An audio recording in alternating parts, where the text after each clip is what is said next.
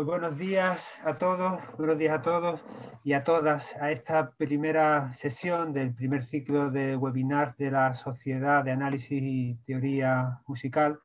Eh, bueno, ya, ya les, ha, contado Daniel, ya tienen ahí puesto el, lo bueno del Zoom es que nos va contando ¿no? quiénes somos. Mi nombre es Cristóbal García Gallardo, soy el, el presidente de esta asociación, joven asociación, y bueno, para mí es una gran satisfacción el presentar este primer, primer webinar, pues en, primer lugar porque es la primera actividad con público en directo que hacemos en, en SATMUS, que como sabéis lleva poquito tiempo funcionando, todavía eh, no llega ni, ni, a, ni, a, un año desde que estamos constituidos, aunque ya tenemos una, una página web con noticias sobre el análisis, sobre, con recursos sobre análisis, que ya, ya tenemos un, lista de, correo electrónico para conectar entre los socios, pues la verdad es que en directo todavía no habíamos hecho ninguna actividad y esta es nuestra primera, ¿no? nuestra puesta de largo, digamos.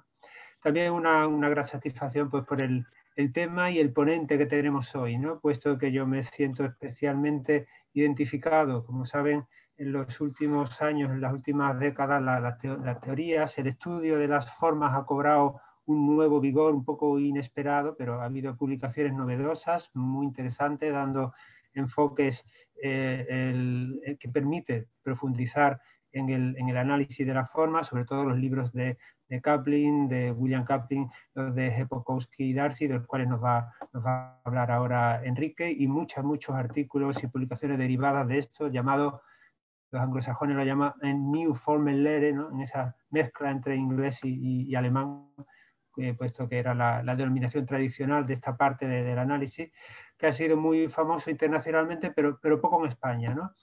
Para mí este tema en España, en español, en español más que en España, está muy unido a la figura de Enrique Igoa, porque la verdad es que al, al, leer su tesis, su excelente tesis doctoral sobre la forma en la sonata de Antonio Soler, pues me animó a profundizar en esos autores que yo conocía un poco superficialmente y la verdad es que mereció la pena sin duda porque puedo decir que, que cambió mi forma de analizar, como ahora seguramente nos contará que también cambió la suya antes cuando, cuando eh, contactó con, con, estos, con estos autores. ¿no? Bueno, sobre Enrique Igoa mm, creo que todos lo conocemos, pero aún así siempre merece la pena recordar, ¿no? Él es compositor, profesor de composición y de análisis musical e investigador musical. Estudió en el Real Conservatorio Superior de Madrid, en el Berklee College of Music, en el New England Conservatory de Boston y en los cursos de Darmstadt en Alemania. Tiene el título superior de composición, licenciado en Geografía e Historia y doctor en Música Hispana. Es profesor emérito en composición y de análisis musical del Real Conservatorio Superior de Música de Madrid, después de haber sido pues, muchos años allí también profesor. Autor de numerosos artículos sobre temas de análisis publicados en revistas especializadas, así como de dos libros sobre el mismo tema, de una tesis doctoral dedicada a las sonatas de Antonio Soler y de una edición de 20 sonatas del mismo autor. También reconocido compositor, ha escrito obras para solistas, grupos de cámara, voz, coro y orquesta y ha recibido encargo de numerosos intérpretes, festivales del Ministerio de Cultura y ha sido galardonado con varios premios internacionales.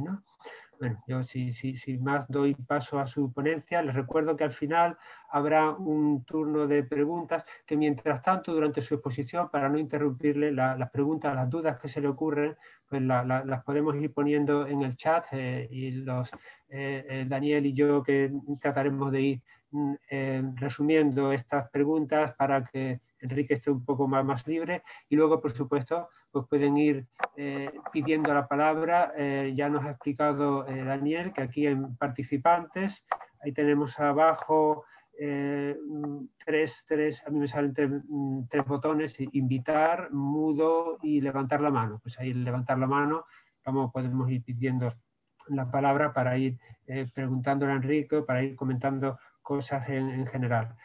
Lo último, pues agradecerle a todos vuestra, vuestra asistencia, vuestro interés, agradecer especialmente a la, Junta Directiva el, trabajo estupendo y generoso que han estado haciendo hasta ahora y que ha permitido que empecemos con estas actividades, con pocos recursos, pero con mucho trabajo en el tiempo libre que, que, se va sacando, ¿no?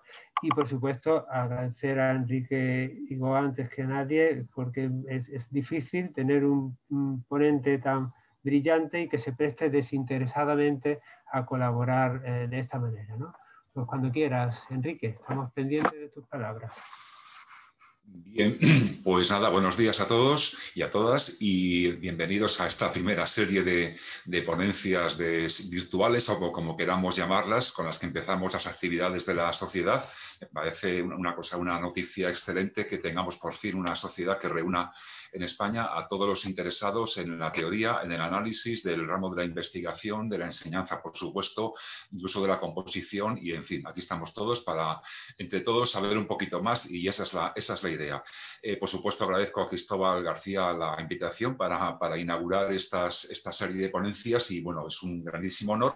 También se lo agradezco a Daniel Roca, el control técnico, porque yo en esto, la verdad es que me ha pillado un poquito tarde todo el asunto de la tecnología y, bueno, espero que él solucione las cuestiones de, las eh, presentaciones porque a mí ya me superaría este, este asunto.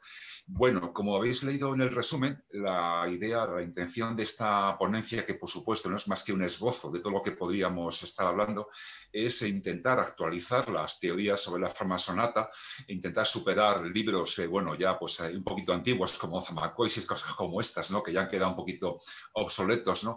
Eh, pensando eso, en todos los que impartís clases de análisis de fundamentos de composición y afines en conservatorios de todos los niveles y demás. ¿no? también, por supuesto, pensando en teóricos, investigadores o interesados en la, en la materia.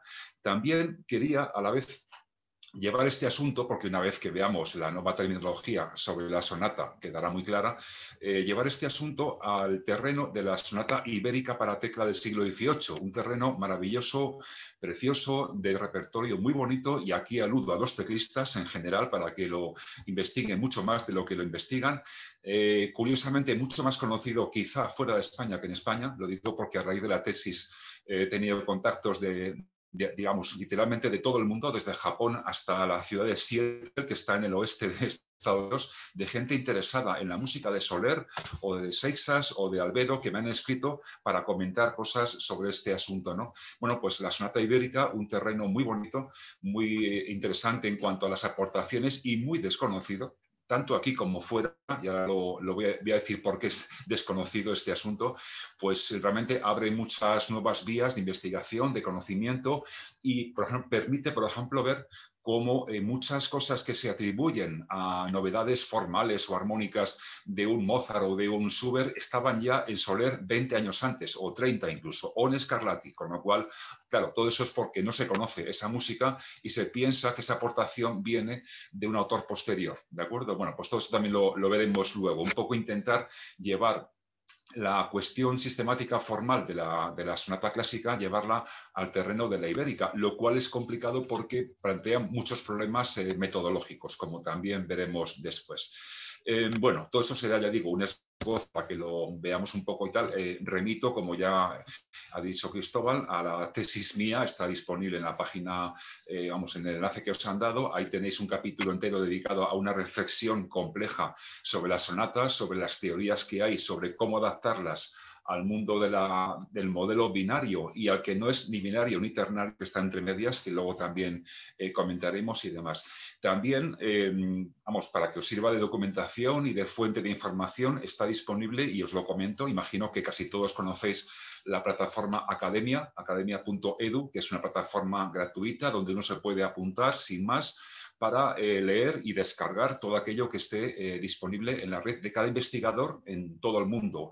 Es es una plataforma en la que están investigadores de todas las disciplinas mundiales eh, está a punto de alcanzar los 150 millones de usuarios, lo cual dice mucho de la plataforma y uno puede poner ahí sus eh, campos de interés, por ejemplo, sonata ibérica o sonata o, teoría, lo que sea, y cualquier artículo o libro que llegue sobre ese asunto le va a llegar un email cada día sobre, digamos, novedades. Bueno, pues ahí tengo yo en mi, en mi página de la plataforma también un texto de análisis 1, que es el que yo impartía cuando daba clases de análisis en el conservatorio durante 20 años fui un poco preparando un, tenía un PDF con materiales de todo tipo, que bueno, pues ahí está disponible, lo he puesto ahí para los que queréis utilizarlo, quizá os venga bien, y parece ser que sí, me han dicho algunos ya que, que lo están utilizando en sus clases de análisis, y bueno, ahí está todo lo que quería, todo lo que también podría completar lo que voy a decir hoy sobre temas de eh, teoría de sonata, también sobre temas de armonía funcional, que luego también tendremos que tocar eh, brevemente y lo, y lo, veremos. Y también tengo ahí, eh, entre otros artículos, dos dedicados a la armonía funcional, que también aquí hoy la voy a emplear. La armonía funcional me refiero a la forma de analizar la armonía en vez de con números romanos, con el sistema funcional de Riemann. Pero bueno, es una cosa muy sencillita, ya veréis que no es complicado entenderlo en la primera atacada para lo que aquí nos concierne. Otra cosa es ir un poco más a fondo con el sistema y para eso están, ya digo, los artículos que tengo publicados en la academia, también para que si queréis leerlos y descargarlos, ahí, ahí están, ¿de acuerdo? Bueno, pues em, quizá ni siquiera llegaremos a ver un ejemplo clásico de sonata, porque ya digo, eso es muy fácil de entender.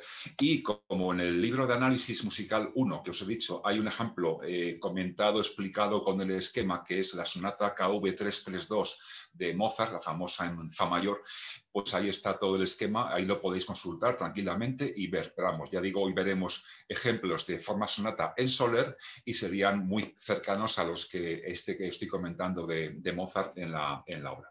Ahí tenemos las principales fuentes, bueno, por supuesto hay muchas más, pero bueno, para empezar, ahora tenemos las, las que voy a comentar en ese sentido. Por una parte, si dentro de esta lista que está por orden alfabético, me gustaría hacerlo por orden cronológico, para que un poco veáis la cronología de cómo hemos llegado a, lo que hemos llegado ahora. Por una parte, eh, yendo de atrás hacia adelante, el más antiguo sería el texto de Arnold Schoenberg, el de Fundamentos de Composición Musical, que además no es del año 67, por supuesto, sino del año eh, cuarenta y tantos, 47, 48. Él murió en el 51. Esto es la edición inglesa que se hizo más adelante. Bueno, un texto importante donde él ya también, como gran analista que era, analiza toda la música del periodo clásico desde el punto de vista de los tipos de frase, periodos, sentencia y demás, que luego recoge también Kaplan y demás. Bueno, el texto de Schoenberg. Luego llegaríamos a los textos de, bueno, o al texto de Rosen, al texto fundamental de formas de sonata del año 87, la traducción, el texto es anterior, ¿eh? este, el texto es del año 70 y algo, me parece recordar, el texto de Rosen. También, pues un libro que para quien no haya leído mucho sobre teoría del siglo XVIII, cuando lo lees, pues realmente te das cuenta de que el periodo clásico es mucho más que una musiquita galante, así como agradable. Es mucho más compleja, como ahora vamos a intentar comentar y también demostrar. Bueno, pues el libro de Rosen también importantísimo. Eh, más adelante estaría abajo del todo el de Eugene K. Wolf. También, eh, bueno, eso sería, en realidad sería el artículo Formas de Sonata en el diccionario Harvard de Música, que también es muy interesante para tener otra visión un poco actualizada de la idea de sonata. después ya llegamos al texto de Kaplan, William Kaplan. Bueno, un texto fundamental, un libro del año 98, 23 años tiene ya, pero desde el comienzo fue saludado como un texto esencial de la teoría eh, moderna en cuanto a este asunto que trata. Fijaos el título, una teoría de las funciones formales. La palabra función muy importante. Hay que preguntarse siempre en la música para qué sirve cualquier cosa, ¿no? ¿Para qué sirve el acorde dominante? Pues para anunciar el tónica. En fin, la idea de función muy importante en todos los sentidos. Y además lo acota enseguida para la música instrumental de Haydn, Mozart y Beethoven. O sea, no intenta demostrar nada con Schubert o con Mendelssohn, sino solamente con esos tres autores y, ya está. Luego tenemos el otro clásico, por supuesto, Hepokowski y Darcy, en este caso dos autores que ya plantean más problemas desde el propio título del libro. Elementos de teoría de la sonata, normas, eso de normas, bueno, tipos y deformaciones. Lo de deformaciones ya ahí está la clave en la crítica que luego veremos del libro. Es un libro que usa quizá demasiado un lenguaje como paracientífico, ¿no? O sea, muchos términos como científicos, deformaciones es un término geológico aplicado a que cuando un esquema formal no sigue la normativa, que también eso habría que eh, dudarlo un poco, pues claro, hay una deformación. Bueno, mejor sería ver una variante más que una deformación. En fin, estos son cosas que por supuesto es mucho más complejo de, de ver ahora, pero en fin, que lo que tengáis en cuenta que no siempre hay que creerse, por muy bueno que sea el libro, todo lo que dice se puede tener, se puede hacer a una crítica constructiva también a ese libro, como veremos más adelante. Em, Y ahí está, llegamos al Winfield, casi abajo del todo, Paul Winfield.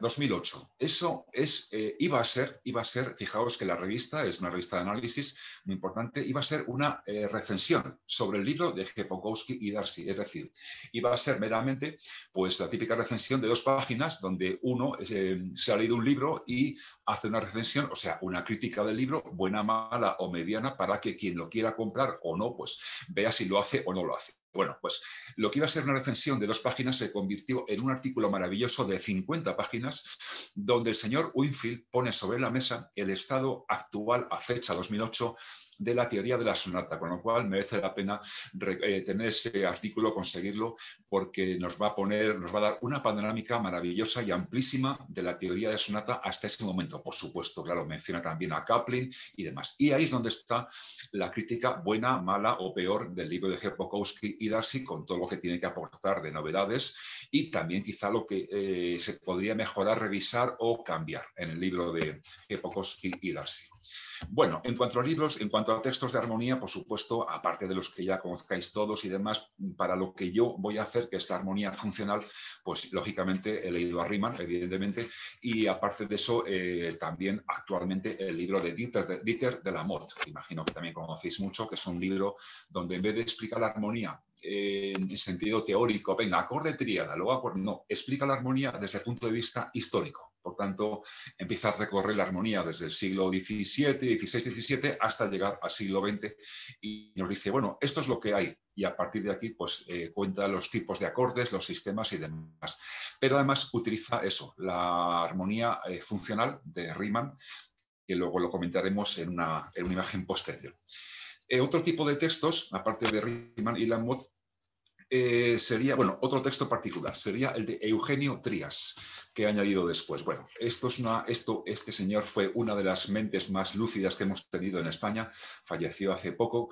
Eh, sabéis que, bueno, aparte de la filosofía, se dedicaba, también le encantaba el cine y la música, y sus aportaciones escritas a ambos terrenos son impagables, impagables.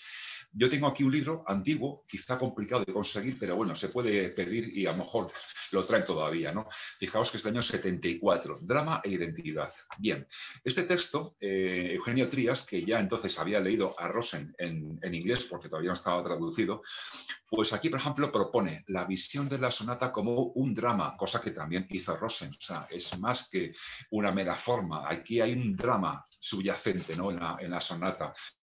Entonces, bueno, pues incluso con un suspense llega a comparar la aportación de Haydn a la, música, pensando en el espectador al que le propone un suspense, al que le gasta bromas, con la aportación al cine de Hitchcock, también una, una comparación muy, muy curiosa. Bueno, pues... Cuando dice esto, por ejemplo, eh, dice que la estructura de sonata se podría equiparar incluso a la del drama, ¿no? Aquella famosa idea del planteamiento, nudo y desenlace, que bueno, no sería, sería muy, apropiado decirlo. E incluso también eh, consigue ver fuerzas antagónicas entre los temas, por ejemplo, de la exposición. Y entonces aquí ya entra la dialéctica de Hegel del asunto de la tesis, eh, antítesis y síntesis. También sería otra comparación muy fructífera, ¿no? En este caso. Y finalmente, em, a todo esto, que sería una aportación, digamos, formal a la sonata en el sentido típico, temático, armónico y formal, se le podría superponer dos teorías más. Por una parte, una teoría más o menos reciente, que es la teoría de los tópicos, eh, de la que alguien que me está oyendo sabe mucho, porque ya sabe a quién me refiero, y además también ha aportado mucho a esa teoría y a la semiótica. Bien, pues la teoría de los tópicos eh, viene del libro de Radner. El libro de Radner, Leonard Radner, año 80, desgraciadamente ese libro y la editorial ya no existe, la editorial por lo menos. El libro se puede todavía conseguir a un precio bastante desorbitado en alguna plataforma de Internet, pero bueno, es un libro excelente, muy interesante, que nos da la visión de cómo oían, cómo entendían los oyentes y los teóricos del siglo XVIII su música, no desde el punto de vista del oyente del siglo XX o XXI, ya contaminado por el romanticismo, por el siglo XX y demás. No, la idea es eh, un poco entender cómo ellos oían la música, a la luz de los escritos de los grandes teóricos del XVIII, ¿no? pues Koch, Rippel, Scheibe y, compañía. Em, bien, eso sería bueno, pues el Radner, entre otras cosas, eso aporta, aporta la teoría de los tópicos. No voy a entrar en ella porque sería ya excesivo, pero también lo podéis leer en mi libro de análisis. Hay un capítulo donde hablo de retórica y de, y de tópicos, un poquito para iniciar nada más. ¿no? Esto ha tenido consecuencias y la consecuencia mejor en cuanto al libro fue diez años después Arriba tenemos a Kofi Agabu, Agabu que es un investigador de origen Ghana, de del país Ghana, pero que trabaja en Princeton, en Estados Unidos. Bueno, pues ese libro que tenéis ahí también, un libro excelente, que además se puede conseguir ya en Internet porque ya no está, está agotado, por tanto circula más o menos en PDF en plan pirata, se puede conseguir. Y es un libro excelente también para entender este asunto de los tópicos aplicado a la música. Esto se puede superponer, este tipo de análisis, perfectamente al formal cosa que eh, también, por ejemplo, en, el texto de análisis hice con la sonata de Mozart. Está el análisis formal y antes está el análisis mediante la teoría de los tópicos. Y por último, también otra aportación muy reciente, fijaos que es del año 2007, eh, Robert Jerdingen, música en el estilo galante. Eh, Norma, eh, aquí tenemos un poco lo que, va a hacer Jerdingen es explicarnos los schemata, dicho en latín, bueno, esquemas, esquemas eh, que son pequeñas unidades armónico-temático-formales, incluso sobre todo temático-armónicas, típicas que eran como parte del lenguaje que ellos estudiaban como, como estudiantes, ¿no? Esto viene del Partimento y de Nápoles, ¿no? Bueno, pues todo esto lo estudiaban los compositores, entre ellos Haydn, Mozart, y se puede ver en su música, y luego vemos el uso de esos, esos estilos de música y se puede analizar obras enteras siguiendo una sucesión de esquemas, ¿no? El famoso monte, el ponte, fonte, el do re el, el fenaroli, bueno, hay un montón de esquemas que también se podría superponer a los tópicos y a su vez al análisis formal. Por supuesto, claro, los esquemas están muy unidos a la articulación temático-formal de una obra y también a la armónica, con lo cual ahí tendríamos un campo de acción que ya Gerdingen ha explorado en su libro porque está lleno de ejemplos donde están los esquemas y su análisis temático formal. Por tanto, es una, es una forma también de entender la música desde el punto de vista de cómo se enseñaba la música y cómo esos esquemas están ahí en un orden temporal adecuado para que aquello funcione, funcione bien. ¿De acuerdo? Bien, pues dicho esto, vamos a pasar a la imagen 3 para empezar a ver eh, esto que estáis viendo viene de, básicamente del libro de Kaplan y de Jepokowski Darcy. ¿no? Es la forma de expresar las cadencias y las tonalidades en, cualquier obra de forma abreviada, clara y sin ningún tipo de, confusión. Una parte tenemos ahí los tipos de cadencia, lo pongo en inglés, el enunciado en inglés y la traducción para que lo veáis. Entonces hablaremos mucho de la PAC, la cadencia auténtica perfecta, luego está la imperfecta, la semicadencia, HC, eh, y luego está la defectiva, que sería nuestra cadencia rota, y la cadencia evadida. Luego hay un término eh, curioso, la cesura media, MC. Bueno, este término lo vamos a ver después, entonces, en un esquema. Cuando lleguemos ahí lo comentaremos porque tiene sus pros y sus contras, este asunto de la cesura media. Muy importante es que veamos, em, que hablemos desde ahora en la exposición, para no alargarla mucho, de HK y SK. Es la tonalidad principal de una sonata o de una forma sonata, que podría ser una sinfonía igual, y la tonalidad subordinada, es decir, si estamos en Do mayor, normalmente la subordinada será Sol mayor, como sabéis muy bien, o si estamos en menor será el relativo o el quinto menor. Ya está. Entonces hablaremos de HK y SK para abreviar a partir de ahora. Pero además cosa que no han hecho ni Kaplan ni Jepokowski Darcy, yo tuve que introducir en la tesis, a la, luz de lo que, tuve que, lo que me encontré, no solamente en Soler, ¿eh? en Soler, en Seixas, en Albero, en Rodríguez Moñer y compañía, pues muchas variantes tonales que me obligaron a introducir esa idea de HK sub S, es decir, tonalidad eh, inicial subordinada una especie de segunda HK que se da en el espacio todavía inicial de la sonata antes de la transición. Lo mismo diríamos de la SK sub S, que es una tonalidad eh, subordinada secundaria que suele ser anterior a la que luego vendrá, que es la principal. ¿De acuerdo? O sea, imaginaos que vamos a Sol mayor y en vez de hacer Sol mayor al principio, el autor va y hace, yo que sé, Mi mayor como primera SK. Hace eso y luego ya se va a la que sería normativa, que sería Sol mayor. Pues ahí tendremos ya, entonces, eh, aparte de la HK y la SK, sus posibles variantes secundarias en algún caso. Y esto no ocurre solamente en los ibéricos, ¿eh? también ocurre en, en Schubert y compañía. Vamos, veas el quinteto en lo mayor de Schubert, eh, la tonalidad subordinada inicial no es Sol mayor, es justamente la que he dicho ahora, bemol mayor. Por ejemplo, para recordar una obra que, conocida por, por todos. Bueno, ¿cómo expresaríamos una cadencia en la HK? Ahí lo podéis ver, HK dos puntos PAC y ya está.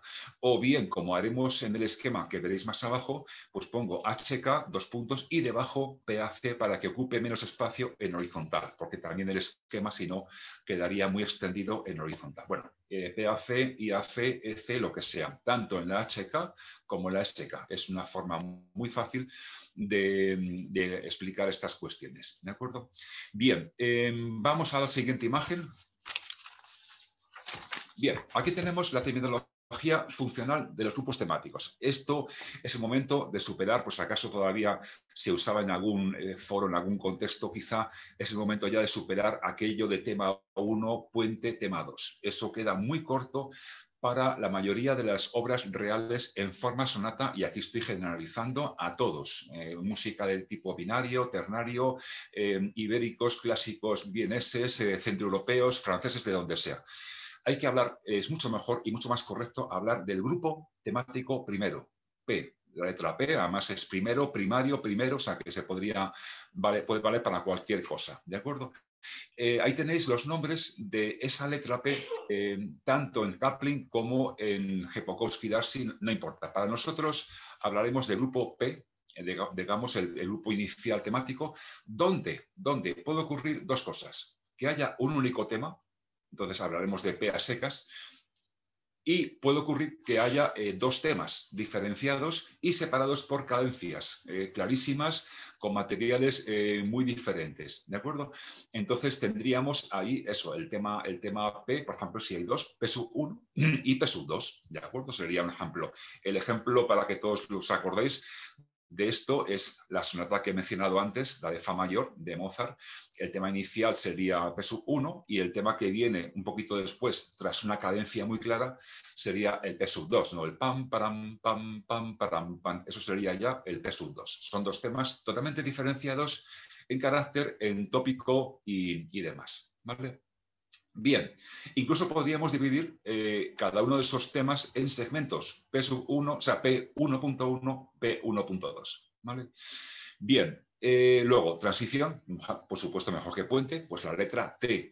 Jepokowski y Darcy emplean TR, pero yo por unificar todo en letra única, pues lo he dejado en T. Em, además, de hecho, estoy utilizando, no lo he dicho antes, las cuatro letras que también utilizó Jean Larue en su libro Análisis del estilo musical, un libro ya también eh, un poquito antiguo, pero que está muy bien, muy interesante, eh, P, T, S y K. En eso coincido con Larue, son muy buenas esas letras para hablar de esta cuestión, también por lo que ahora veremos. Para el grupo secundario, eh, letra S, secundario, subordinado, subsidiario, también sería así en español. De nuevo, dividimos en S1, S2 y aquí muy frecuentemente S3, es decir, se suelen dar, se pueden dar con cierta frecuencia tres temas secundarios diferenciables y articulados entre sí, o sea, separados entre sí por cadencias más o menos claras. Para la zona conclusiva, em, yo uso la letra K, como veis ahí, igual que la RU. Eh, mm, esto aquí difiero de lo que hacen Jepokowski y Darcy, que usan la C, usan la C. Pero yo la C prefiero guardarla para otro tipo de formas más episódicas. Por ejemplo, el minueto, el esquerzo, donde hablaríamos de A, B y luego de C, D. Con lo cual, las cuatro primeras letras, mejor guardarlas para eso, formas como el minueto, el esquerzo, el rondó, que también podría ir por esos caminos, y así la letra C no la metemos en ese saco de la exposición de, sonata. Em, para la introducción, aquí ya también me he inventado yo una letra, o sea, lo reconozco. Eh, la RI creo que usaba, no sé si la O o la I, me da igual. La O se confunde con el cero, la I con el número uno romano, son un poquito incómodas para nombrar el material de la introducción. Yo he empleado la E por dos motivos. La E en, retórica es el exordium, el comienzo del discurso retórico sería exordium, por tanto no hay ninguna duda. Y el alemán Einleitung, o sea, es introducción, por tanto también estaría muy bien en ese sentido asociarlo a eso. Con lo cual, si queremos nombrar el material de una introducción lenta, pues usaríamos la letra E, por lo menos es lo que hago yo en los análisis que he hecho en ese sentido. Y luego, el material nuevo que se pueda encontrar en el desarrollo, eh, emplearíamos la letra N, lo cual no tiene ninguna duda porque N es nuevo en todos los idiomas occidentales. Y también aquí la RUI la, emplea para indicar una derivación de un material posterior de un anterior, cosa que es muy frecuente y nos llevaría al asunto del monotematismo, en fin, o no, pues muy sencillo. Yo pongo esto que estoy viendo, lo llamo S1, porque estoy ya en el espacio S, pero deriva de P1. Lo pongo entre paréntesis y ahí estoy un poco indicando la afiliación temática, la derivación que me encuentro en ese material respecto a un material anterior. Eso también es muy sencillo de ver y ya está. Cuando hay una modificación posterior de un material, pues una simple coma, como decimos P1.2 prima, ¿no? o sea, esa pequeña coma que indica que hay una variación del tipo que sea. Cuando hay una ampliación o expansión de la duración, por lo que sea también de un material, pues ponemos ese angulito, ahí lo podéis ver, un angulito Esto también eh, se da mucho en, como dice Rosen, ¿no? en cuando se hace una recapitulación, a veces hay algún tipo de espacio donde parece que de nuevo empieza a modular la música. ¿no? Eso se ve muy bien, por ejemplo, en la Sinfonía Praga de Mozart. Bueno, eso sería lo que Rosen llama desarrollo secundario. Sí, es una zona un poco de actividad a modo desarrollo, pero en una zona de recapitulación que se supone que es una zona estable. ¿no? Bueno, pues ahí se pueden dar a veces ese tipo de expansiones muy frecuentes de los materiales temáticos que en teoría no serían tan largos. Si al contrario se reduce el material, se contrae, pues ahí tienes el símbolo para expresar esa, contracción. ¿De acuerdo? Bien, vamos siguiente, a la siguiente imagen.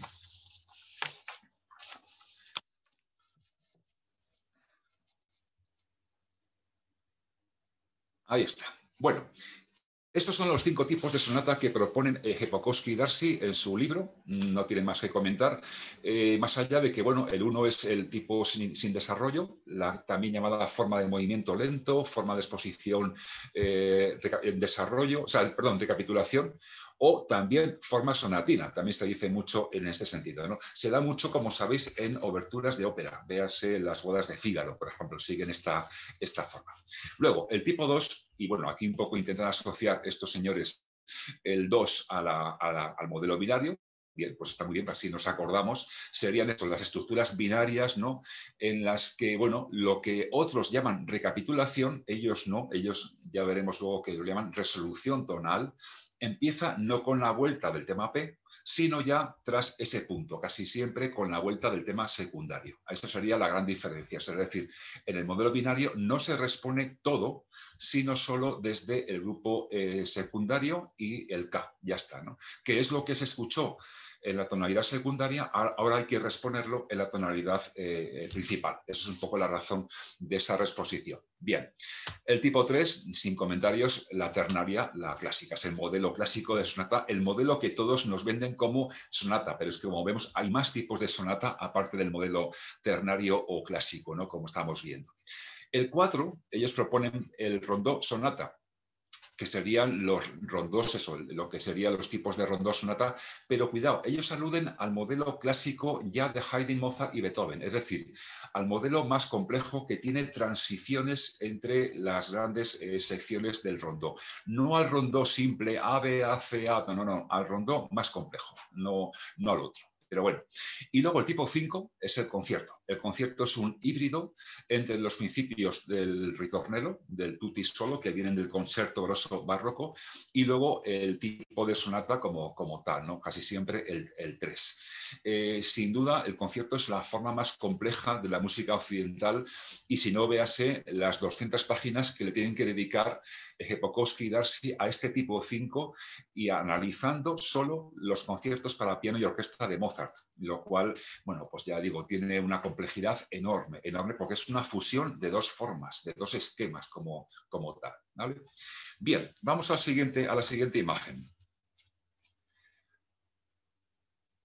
Aquí está. Bueno, esto es para que cuando veáis los esquemas que vais a ver más abajo de ejemplos de sonatas, pues tampoco os asustéis mucho, ¿no? Esto no es más que un resumen rápido de, la armonía funcional de Riemann, que consiste, en vez de hablar del número romanos, de 1 a 7, para los acordes de la tonalidad, ellos hablan de tres funciones básicas, que realmente es un poco lo que sí que ocurre estadísticamente, la tónica dominante y la subdominante, de la cual derivan eh, sus relativos, que serían los que aquí ellos llaman P paralelos. Entonces, por ejemplo, de Do mayor eh, tenemos La menor, que sería el paralelo menor que sale de la tónica mayor. Sería un poco dicho en extenso cómo se entiende cada uno de los, de los cifrados. ¿no? Eh, de Sol mayor, pues sería el Mi menor, ¿no? y así sucesivamente y demás. Claro, esto lo importante no es que sea otro cifrado más, no, es que este tipo de armonía funcional explica muchas cosas que la armonía de números romanos no explica. Por ejemplo, eh, explica la afiliación eh, funcional entre Do mayor y La menor, es decir, comparten dos acordes, dos sonidos. Por tanto, esa es la razón por la cual la cadencia rota, eh, quinto sexto, si yo en vez de decir quinto sexto digo D, TP, estoy diciendo, ah, esto era una, una progresión que en vez de ir a la dominante, a la tónica, va a un acorde que representa a la tónica, que la sustituye, que sería el acorde de la menor, porque tiene dos sonidos comunes y por tanto conserva gran parte de la función de la tónica, que es la función básica de la cual deriva ese acorde TP. ¿Vale? Eso sería un poco la idea de por qué esto explica muchas cosas que la armonía de números romanos quizá no, no explica tanto. Bueno, nos basta con que tengamos un número para los principales para cada uno de los acordes de la tonalidad como tónicas secundarias para cuando, luego veamos ejemplos de modulación interna así y demás, o de tonicalización que se producen internamente en las sonatas. ¿no? Ahí tenéis en Do mayor las secuencias, y yo diría, eh, Do mayor, Re menor sería SP, Mi menor sería DP, y así sucesivamente lo podéis ver. En La menor, todo es al revés, eh, porque la letra de las funciones básicas son todas minúsculas, porque el acorde es menor. También esto tiene la ventaja de que podemos decir con una simple letra si el acorde es mayor o es menor, sin poner nada más, porque lo ponemos mayúscula o lo ponemos minúscula y por tanto se ve enseguida también ese cambio de modo en cada uno de los, de los casos. ¿vale? Por supuesto, claro, en modo menor todo es al revés. De un acorde menor como La, su relativo, su paralelo es Do mayor, que es un acorde mayor. Entonces decimos de Do mi sol, que es el paralelo mayor, que sale de la tónica menor. Es todo al revés, lógicamente. ¿no? Bien, esto ya digo, no voy a ir a más porque sería muy complicado. Con esto delante se puede entender más o menos bien lo que luego veremos cuando analicemos algún ejemplo posterior. Vamos siguiente, a la siguiente imagen. Bien, este es lo que está en una página del libro de Jepokowski Darcy. Ellos proponen un, esquema muy original, muy interesante, pero también no exento de crítica de lo que es la forma sonata. Eh, lo que está arriba, el, esquema, el de arriba de todo, sería lo que sería la exposición de sonata. ¿no? Ahí lo podéis ver, el grupo P, eh, pone launch, o sea, se lanza, el grupo P tiene una, terminología a veces un poquito eso, retórica o científica. ¿no?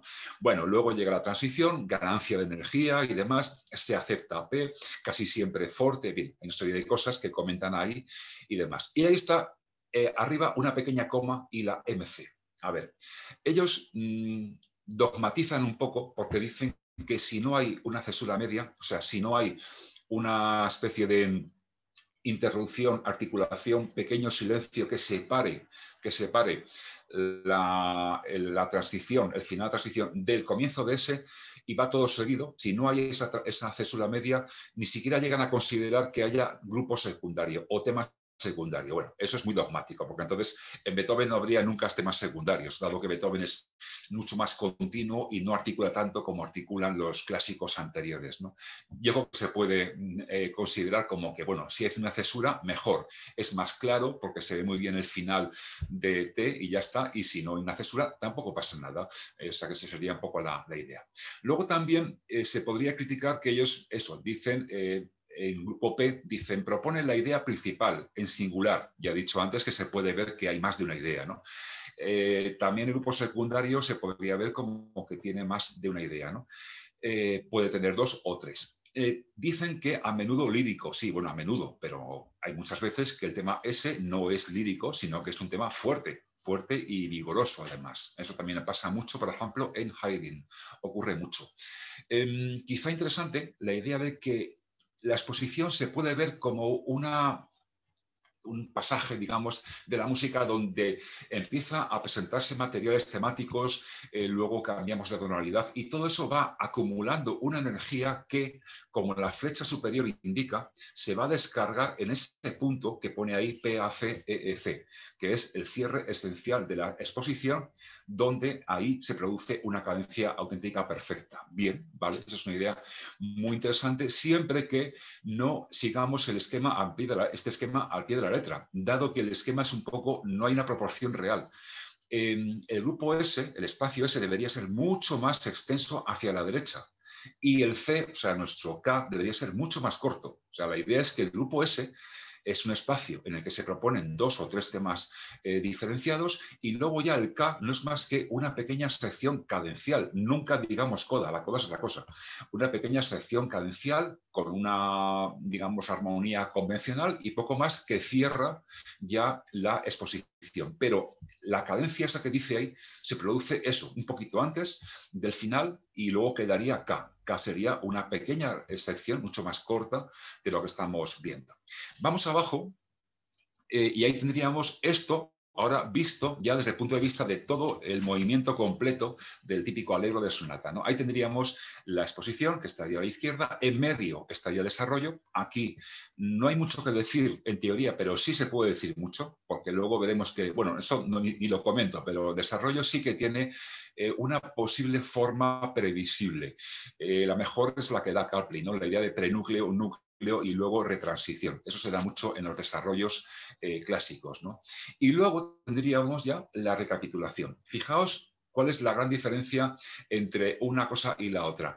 La diferencia es que en la exposición hay una subida de nivel de la transición y del grupo secundario y el K. ¿Por qué? Porque em, están interpretando que ha habido una modulación. Se sube una quinta superior. Entonces eso visualmente lo expresan con esa subida de toda esa zona temática, digamos, una quinta hacia arriba. Mientras que cuando se recapitula, eh, todos los niveles, todos los temas están al mismo nivel tonal, porque ya se supone que todo se responde en la tonalidad principal.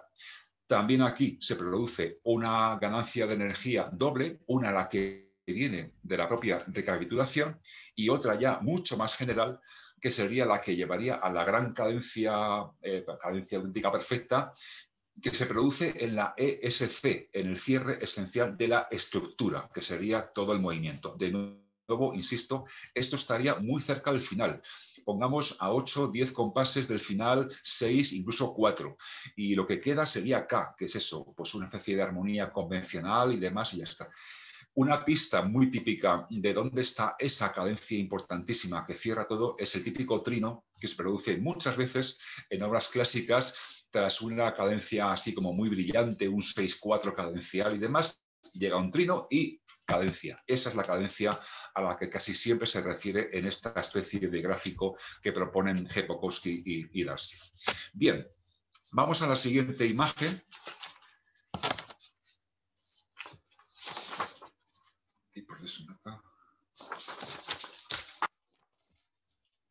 Ahí está.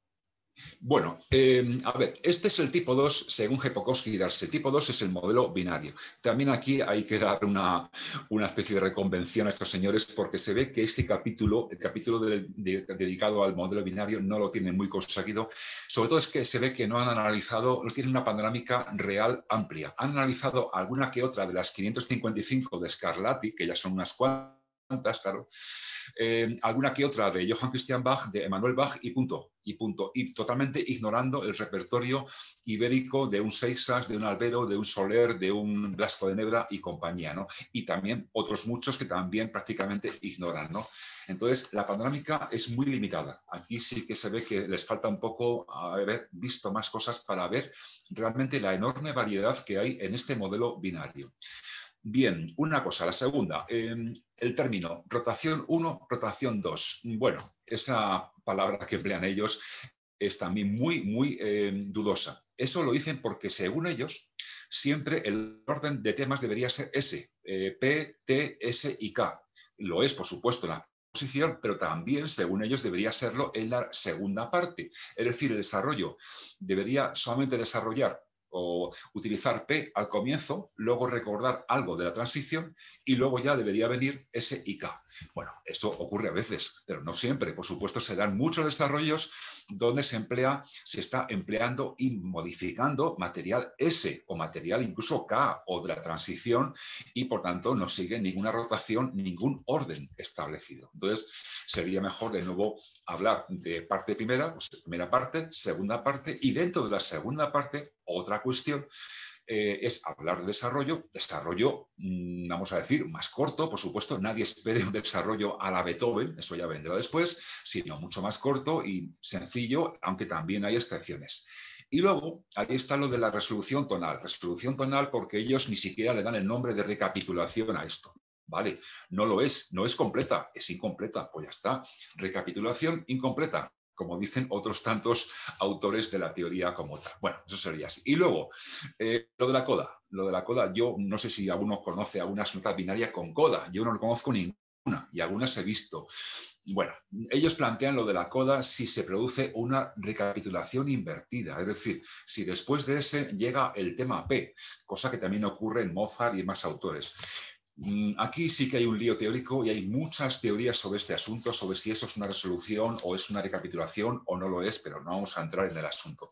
Si hablamos de coda como sección diferenciada tras el final de la resposición, eso aquí no hay. O sea, en la nota binaria no tiene una retórica en la que implique una coda. Sí lo tiene la música de Beethoven. Por supuesto, ahí sí que lo hay lo hay y todos conocemos codas gloriosas en Avalstein, en la novena, en muchas obras pues, de, este, autor, donde sí que hay una coda el sentido de sección formal autónoma posterior a lo que sería una, recapitulación completa como, como tal. Bien, vamos al siguiente, a la siguiente imagen. Y ahí vamos a ver mi propuesta eh, para un poco solucionar un problema teórico que también Jepakowski, Darcy, Wolf, eh, Winfield y muchos autores han puesto sobre la mesa. Y es la falta de un modelo formal entre el binario y la forma sonata, o sea, entre el 2 y el 3, dicho llanamente, efectivamente. Pues ahí está. Bueno, yo he, puesto, he propuesto para los análisis que veis al final estas tres letras, SB, SM y SF, para indicar la, sonata binaria, ya no hay más que decir, es lo que ya hemos hablado más veces ahora, y aquí estaría el modelo que llamo mixta. Por supuesto, es un término eh, posible, no es el único, seguramente habrá mejores, pero bueno, por ahora es el que he utilizado para analizar el esquema que haría falta entre el tipo 2 y el tipo 3. Y esto, ya digo, lo han visto muchos teóricos. ¿no? Las dos diferencias o dos razones para que en vez de binaria fuera mixta. Bueno, pues eh, precisamente esto, que haya una recapitulación invertida. Por tanto, hay una presencia de P, pero no en su sitio temporal, sino posteriormente. Es decir, en vez de hacer P transición y luego ya S, estamos oyendo S, parece que vamos al modelo binario y de repente aparece o reaparece P.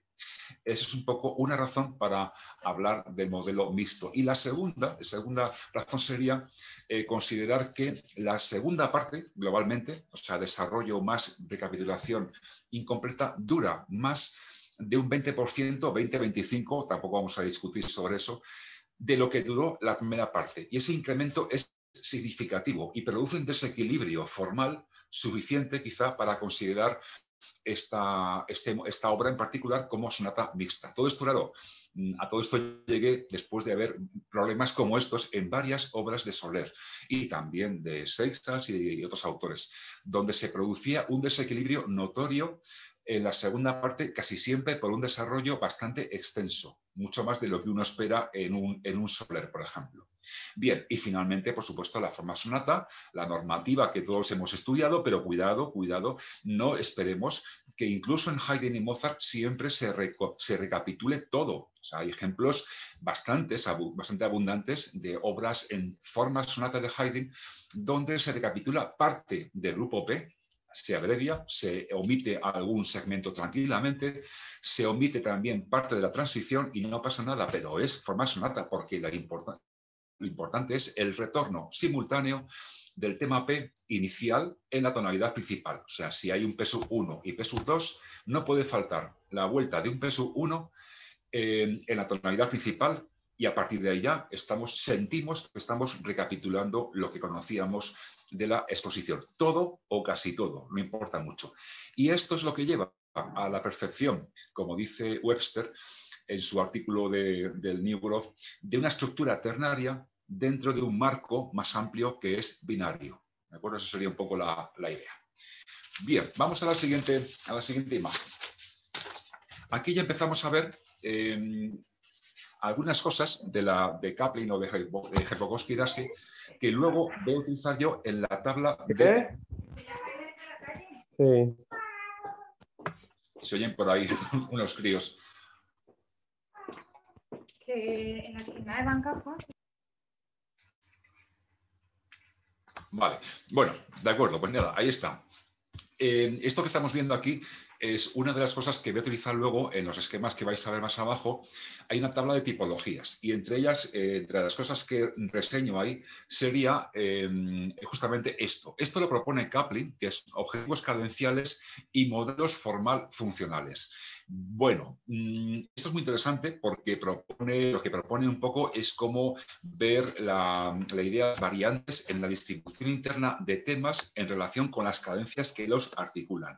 Está muy bien propone ocho variantes. Lo que pasa es que la forma de expresarlo, de poner un cuadro visualmente, digamos, el grafismo, es un poquito confuso, porque a ver, si aunque lo leáis abajo, las palabras, lo que quiere decir, es complicado de, entender y de hacerse una idea mental de qué quiere decir. Por ejemplo, el modelo 1 quiere decir que, eh, según este modelo, deberíamos tener, tras el tema inicial MT, eh, una cadencia perfecta en la HK, cerrando ese, ese tema. Luego, debería haber una transición modulante, tras la cual llegaría una cadencia ya en la SK, y luego llegaría el tema secundario, ST, eh, tras el cual también llegaría una cadencia auténtica perfecta en la SK. En el segundo modelo, la diferencia es que en vez de cerrar el tema principal con cadencia perfecta, se cierra con semicadencia. Bueno, y así sucesivamente. Ya digo, lo que importa es que la idea es muy interesante, pero la forma de expresarla gráficamente quizá no es la mejor. Vamos a la siguiente imagen y veremos una forma quizá un poquito más fácil de, entenderlo. En la siguiente, en la imagen número, número 11. Ahí está. Bueno, esto es lo que yo eh, diseñé para la, tesis. Eh, empleando los modelos de, Kaplan. El modelo 1, acabamos de verlo, lo llamo FP por abreviando eh, Formal Functional Pattern en inglés, pues FP, así abreviamos, FP1. Ahí estaría.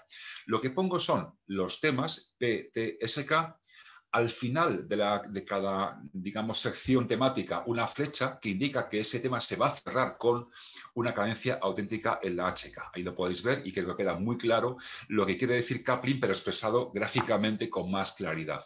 Eh, luego vendría la semicadencia en la, en, la SK y luego cerrando S llegaría otra cadencia perfecta en la SK y luego llega K, que es lo que he dicho antes. Luego viene el pequeño K.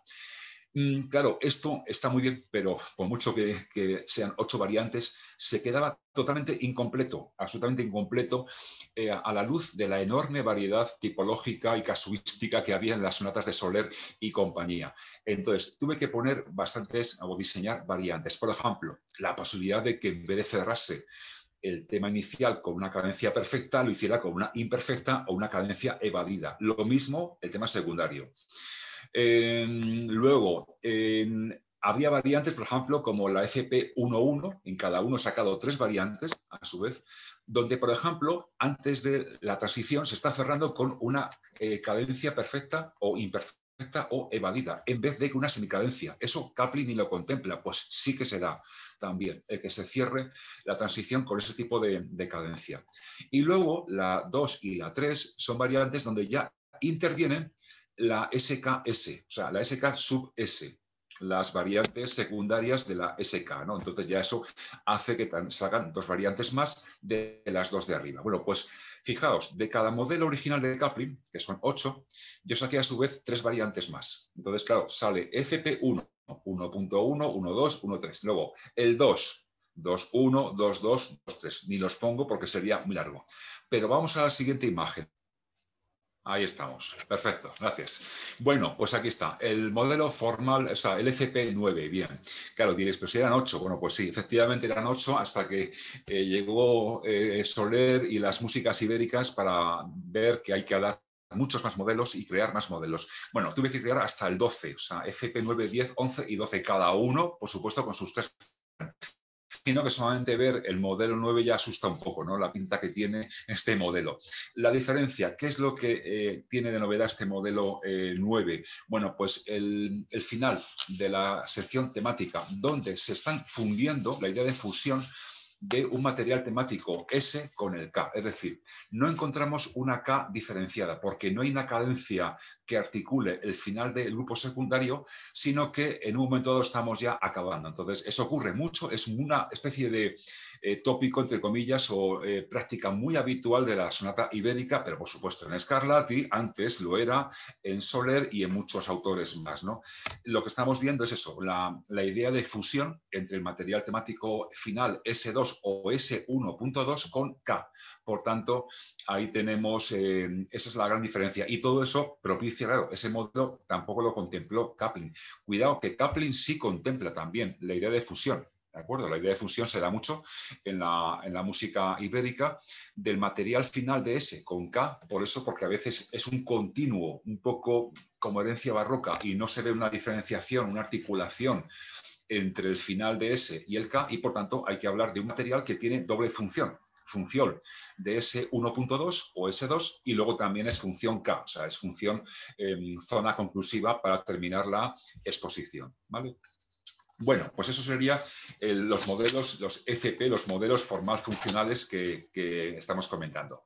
Vamos a la siguiente imagen, por favor, a la imagen, el, creo que es el 13 ya. Eso es. Esto ya lo hemos comentado, lo acabamos de decir arriba, lo de la, cómo se expresarían las derivaciones, eh, tal, directa. La indirecta no sé si lo veis, la flecha donde pone K, eh, flecha T1, 2, esa flecha, es muy pequeñita, pero vamos, es una flecha con eh, línea suspensiva, o sea, línea discontinua. Bueno, la diferencia con la línea continua de arriba es que eh, hablamos de una derivación indirecta más, como más lejana, no tan clara como la directa, a lo mejor estamos viendo una especie de analogía rítmica o en el perfil temático, interválico y quizá, pero vamos, eso sería un poco la idea, para cuando queremos expresar algo que vemos una pero un poco más lejana entre un material y un material anterior, sería eso, la derivación indirecta. Acabamos de hablar de las fusiones y pues justamente las dos más típicas. Las fusiones más típicas son las que se dan entre el material final del grupo principal y la transición, que también aquí se da a una zona no diferenciable. Y como acabamos de ver, la otra fusión típica es la del final del grupo S, el último segmento del grupo S se fusiona con el K, con la zona K. ¿De acuerdo? Vamos a la siguiente. Aquí está, modificaciones. Bueno, modificaciones es eh, otra cosa que, veremos en la tabla de tipologías que alude a, eh, bueno, pues en la segunda parte, con mucha frecuencia se producen modificaciones del material respecto a cómo estaba en la primera, en la primera parte, ¿de acuerdo? Bueno, pues ahí tenéis un poco la forma de indicar qué tipo de modificación se está dando, si es una variación, porque hay ornamentación o tal, si es una variación tonal, porque se ubica el tema en un sitio diferente del que debería estar, una variación por expansión o por adición, o al contrario, una variación por contracción o por omisión, o por sustitución. También podría ser que un material eh, sea, digamos, sea cambiado por otro, ¿no? Haya una sustitución del material y entonces también eso sería importante reseñarlo o incluso una variación funcional, material que cambie de función en la segunda parte, también algo que, bueno, es realmente complejo, pero se da. Todo esto ha sido consecuencia, insisto, de analizar, pues eso, 140 y tantas sonatas de Soler, más unas 50 o 60 de otros autores ibéricos de la época, y al final tienes que diseñar teoría para abordar esa música. O sea, intentas que la música que la teoría se adapte a la música, no al revés, que sería que es lo suyo. ¿no? Bien, vamos a la siguiente. Ahí está. Eh, esto que estamos viendo, em, acumulaciones, es un término que también me he sacado de la manga, pero quizá haya otro mejor, para eh, traducir lo que llama Sutcliffe, Dean Sutcliffe, que es el experto más actual en Domenico Scarlatti, lo llama VAMPS. Eh, VAMPS mm, sería un término que, bueno, en principio alude en música popular o en el jazz alude a un pasaje introductorio simple que se repite varias veces hasta que llega la melodía principal. Eso sería el, el vamp en inglés y en música también. Bueno, la traducción mm, aquí, para lo que estamos viendo, mejor que ostinato, que podría parecer que esto es un ostinato, mejor que ostinato em, sería, ya digo, he puesto acumulación porque un poco como que se acumula, se acumula la misma idea todo el tiempo. Ahí lo podéis ver. Esto es un ejemplo de Soler la primera sonata de Soler como eh, buen discípulo de Scarlatti, directo o no, eso ya no entramos en ello, lo podéis ver en la tesis, el asunto de la biografía. Pero bueno, lo que estamos viendo es una textura continua, no cambia nada, eh, es un continuo trémolo en la mano derecha, eh, acordes todo el tiempo en la mano izquierda y lo único que cambia es la armonía es lo único que cambia. Entonces, esto es un típico pasaje que se da mucho en Scarlatti y también Soler lo va a hacer mucho en sus obras, no aquí, ¿eh? en muchas otras más. Pues también, si se diera un pasaje tipo acumulación, lo podemos poner en la tabla como luego, como luego veremos. Bien, vamos al siguiente, a la siguiente imagen. Ahí está, proporciones. Eh, a ver, entramos en el aspecto de medir cuánto dura cada sección. Antes no lo he dicho, pero me parece importante reseñar algo que también Jepokowski, Darcy y otros autores, muchos, mencionan. Más allá de la división formal en exposición y tal, de la, luego desarrollo y todo esto, muchos autores em, hacen ver la importancia también de entender cómo, de alguna forma, hay una unidad inferior. Es decir, deberíamos ver el P más T como un bloque y luego S más K como un segundo bloque. ¿De acuerdo? Eso se da mucho en las sonatas de todos los tiempos, eh, binarias, ternarias, clásicas, ibéricas y demás, y eso efectivamente funciona muy bien. Y son de alguna forma dos bloques porque cada uno se ubica en una región tonal. También por ese motivo lo estamos dividiendo, ¿no? Esta cuestión. Entonces, yo lo que hago aquí en este apartado de proporciones es numerar eh, o contar, mejor dicho, ¿no? cuántos compases dura en la exposición la sección eh, P más T, y eso sería la letra A. ¿En cuánto dura el bloque S más K? Eso sería B. En el segundo bloque, segundo renglón, digamos. Ahora lo que estamos fijándose es en la segunda, segunda parte. Entonces, aquí eh, numeramos o contamos cuánto dura el espacio anterior a la reexposición de S más K, eso sería C, y cuánto dura eh, S más K en la segunda parte, eso sería D. Claro, normalmente, normalmente, en una sonata binaria, que casi no cambia mucho la segunda parte, con la primera, debería ser eh, B, o sea, D igual a B. ¿De acuerdo? O sea, la duración de S más K en la segunda parte debería ser igual a la duración de S más K en la primera parte. Otra cosa es si A y C son iguales o no. Ahí ya no, casi nunca son iguales, pero pueden ser muy parecidos o veremos o no, ya lo veremos. La tercera opción es eh, estudiar los compases del desarrollo y la recapitulación en la segunda parte. Es decir, me fijo solamente en la segunda parte. ¿Cuánto dura el desarrollo y la recapitulación? Si no hubiera más allá de un desarrollo normal y corriente y solo se recapitula S más pues E y F van a ser iguales a C y D. Pero si se recapitula recuperando también algún módulo ya de la transición o incluso algo del grupo P, claro, ahí ya eso dura más. Entonces el desarrollo cambiaría mucho y tendríamos ya una especie como de espacio más pequeño de desarrollo y una recapitulación que duraría más. Por tanto, F sería mucho más largo o más largo que D en este caso. Y finalmente, lo que estudiamos ya con letras negritas, como veis ahí, es la duración de la primera y de la segunda parte. Lo normal en un modelo binario al uso típico y demás es que sean muy parecidas en duración, ¿de acuerdo? Pero en cuanto esta segunda parte exceda, como he dicho antes, el 20% o el 25% la duración de la primera, estamos ya acercándonos al modelo de la sonata mixta, que sería algo diferente porque hay una evidente desproporción entre una parte y la, y la otra. Bueno, y finalmente vamos a la siguiente imagen. A la siguiente imagen tenemos ahí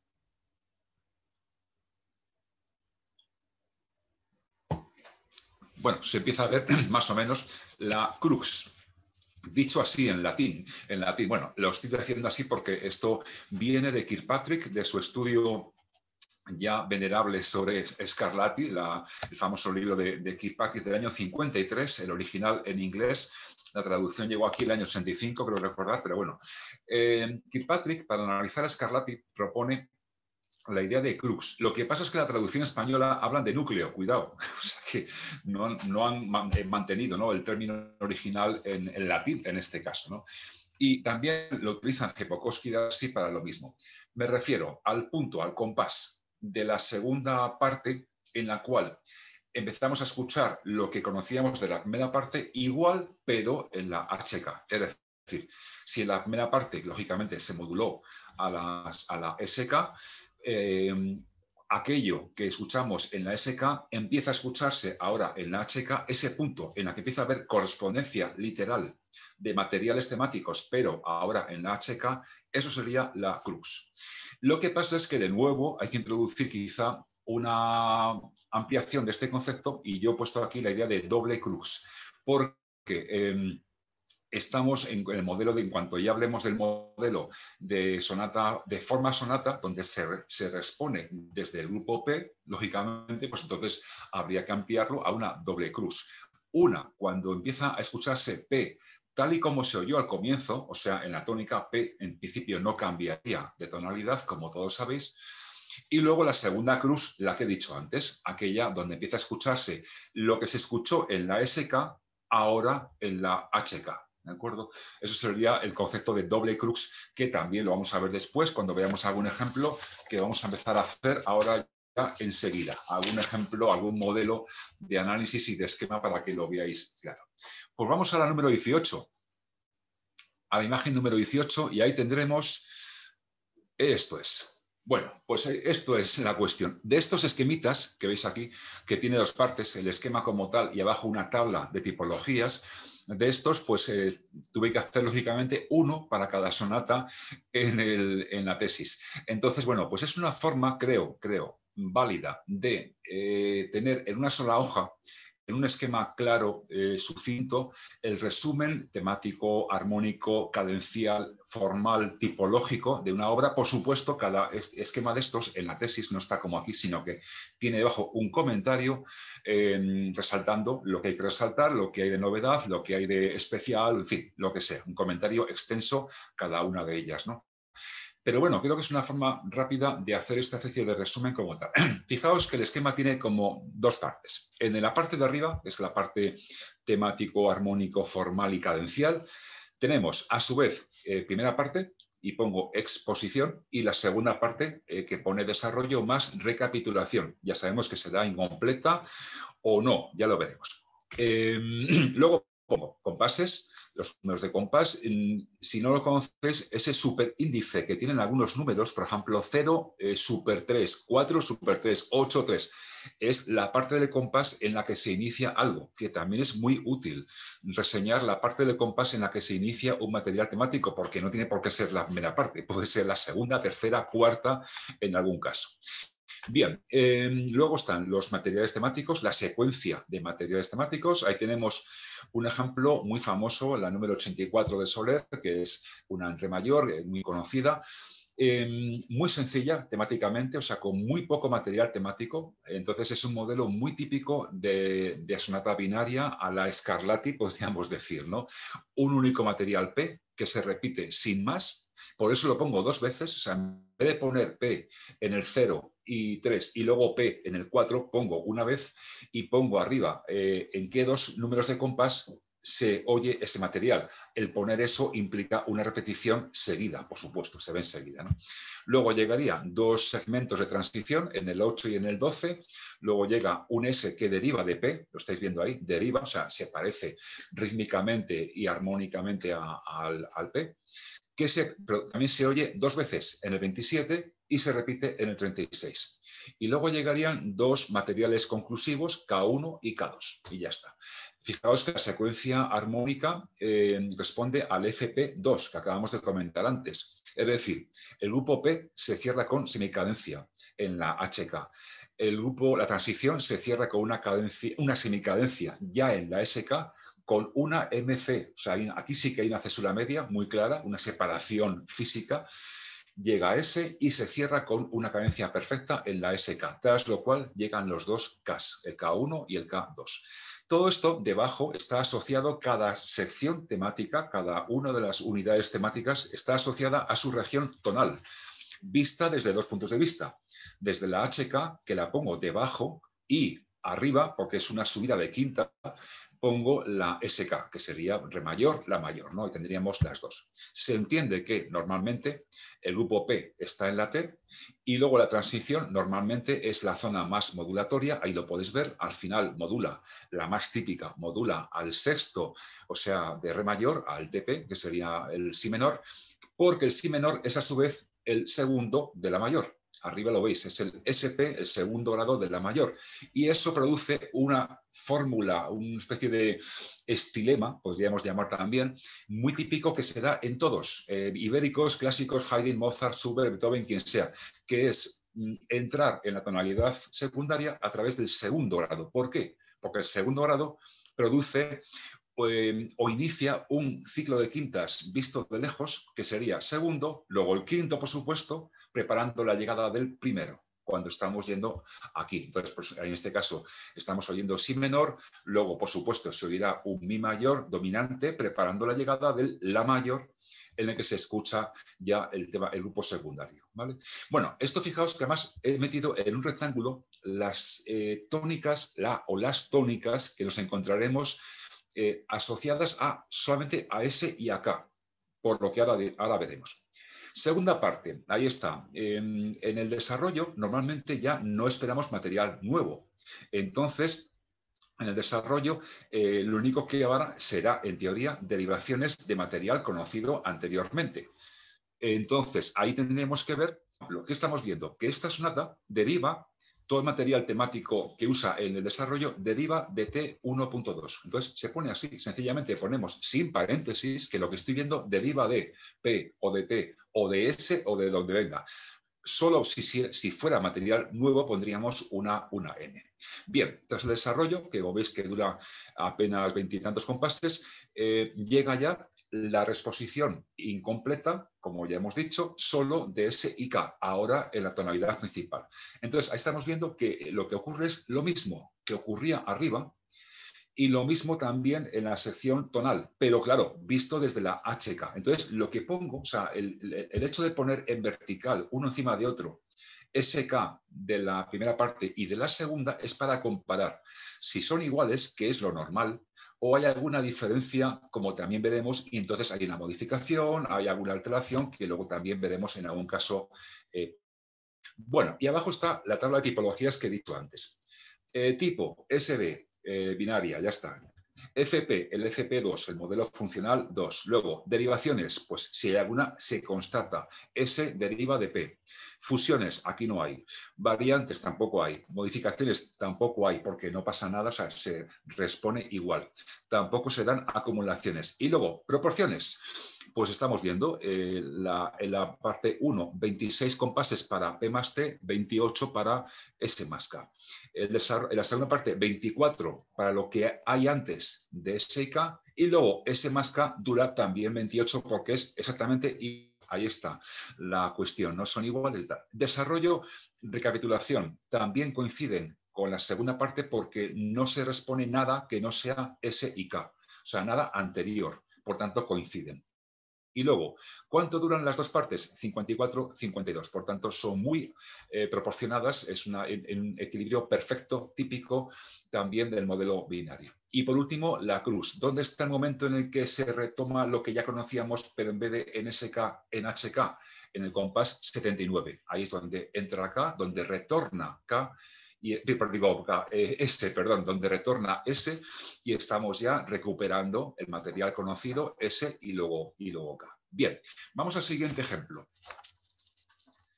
El siguiente ejemplo, como veis, a simple vista es ya de asustar. La complejidad que nos encontramos en esta número 16, ¿no? Bueno, pues eh, de entrada, temáticamente es mucho más compleja, o sea, mucho más rica en cuanto a variedad temática, tiene mucho más diferenciación temática, sobre todo el grupo P y luego el S. Hay derivaciones, también estamos viendo, y ya entramos en un ejemplo también de SK sub S, es decir, de una tonalidad secundaria, subsidiaria secundaria. Aquí no estamos entrando en, lo que yo esperaría, sino que entramos en una, una variante y luego vendrá la que yo espero. Me refiero, estamos en mi bemol mayor. Uno espera que el grupo secundario esté en si bemol mayor, sería lo, normativo. Bueno, pues eh, no es lo que hace, lo que está haciendo es entrar en sol menor, o mejor, está entrando en un sol menor implicado pero no realizado. Esa es otra cuestión, porque lo que está entre corchetes, cuando veis la, zona de tonalidades, de tónicas, entre corchetes, son tónicas secundarias o no, todavía no realizadas. Es decir, yo estoy oyendo la escala de esa tónica como tal, casi siempre estaremos oyendo la dominante como si fuera a caer a caer en nada en la tónica con una cadencia clara y ya digamos que realizo esa dominante, pero no se llega a caer realmente. O sea, es una implicación no realizada en términos de Molinó y Natiez. Eso sería también semiótica. Bueno, em, no, eh, lo que estamos viendo es una tónica sol menor que parece como que podría caer, pero no llega a caer. Lo que sí que se escucha después es luego un do menor, fijaos, do menor. Y luego eh, viene, o sea, que estamos viendo tónicas y luego un, una, un fa menor después. Y ya sí, cuando llega el S2, el S2.1, en el compás 39, ya por fin eh, alcanzamos la tónica esperada que sería el si de bemol mayor. Por tanto, estamos viendo una región, un espacio S más K muy complejo armónicamente, que ya no es una única tónica, que es lo que se supone que debería ser, sino mucho más que eso, más complejo y que implica la entrada de una tonalidad, eh, una SK sub S secundaria, y eso complica mucho como veis, la, la idea, vamos, el análisis y la pinta que tiene este análisis. Eh, aparte de eso, abajo vemos ya también derivaciones que podemos poner. Hay una variante, y lo podemos ver ahí también, la variante de S1, porque S1 en la exposición no se está exponiendo en la tonalidad normativa, sino en otras que no son la normativa. Por eso lo consideramos como variante, variante. Y luego la proporción sí que son más o menos parecidas en este caso, y luego estaría la crux, como ya hemos visto anteriormente. Bien, vamos al siguiente ejemplo. Ahí está.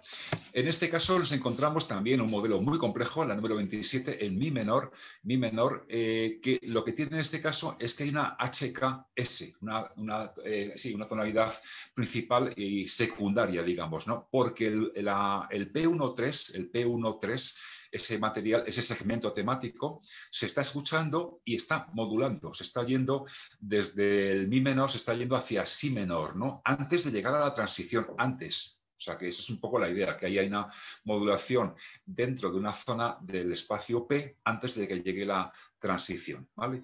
Luego eh, no pasa nada, después viene el grupo S, el K, en fin, eso más o menos es normativo porque se escucha en Sol mayor, pero en la segunda parte también tenemos otro problema, y es que cuando se respone S más K, el grupo S eh, debería estar en Mi menor, y ahí estamos al comienzo en Mi menor, pero luego el S1.2 eh, se va a Mi mayor y está oscilando entre Mi mayor, Mi menor, Mi mayor, Mi menor y al final ya sí se queda en Mi menor. Eso sería un ejemplo de modificación tonal, como luego veremos abajo, que he puesto ahí una modificación tonal, veis ahí MT-S12. Es decir, en ese punto, en ese tema S12 hay una modificación tonal porque se está alterando el modo cuando antes, en, origen, no se alteró el modo. Antes fue mayor y ahora debería ser menor todo el tiempo, pero se da esa alteración del modo y por tanto lo, también lo consignamos. También ponemos como variante el P13 porque ese material temático no está en la tónica inicial, sino que se mueve, modula y eso no es normativo dentro de la forma como, como tal. Bien, vamos al siguiente ejemplo, al siguiente modelo, y ya vamos acabando. El siguiente ejemplo es. Así, ah, aquí. Eh, el primer ejemplo de forma sonata, eh, que encontramos en Soler eh, para que luego otros digan, hay las cosas que se repiten a veces en muchos textos y muchos libros de historia, esas cosas que eh, se repiten sin haber hecho ningún tipo de crítica. ¿no? Pues Soler compone sonatas monotemáticas, ya está, y se quedan tan anchos, ¿no? binarias y todas son monotemáticas. Bueno, en fin, eso, claro, hay tanto que discutir que vamos a ver, un ejemplo donde ya sí que se recapitula el tema P. Lo estáis viendo ahí, como en la segunda parte en el compás 70 y siguientes, estamos viendo una exposición eh, parcial, cuidado, por eso está entre corchetes, porque es una exposición parcial de P y además variada, por eso pongo P'. Luego, eh, T1.1 también se respone, hay una reprise de ese material, también parcial, también de T1.2. Todo eso, claro, esto mismo, ya digo, ocurre en Haydn, o sea que no siempre Haydn les pone todo completo, sino también lo hace parcialmente. Bueno, ahí tenemos eso. Em, aquí lo podemos eso consignar en el apartado modificaciones, ponemos MO, o sea, modificación por omisión en P, en T11 y en T12. También hay modificación por variación en P, porque también hay una variación eh, del tema P que varía un poquito en el aspecto que, que, tiene ese material. ¿De acuerdo?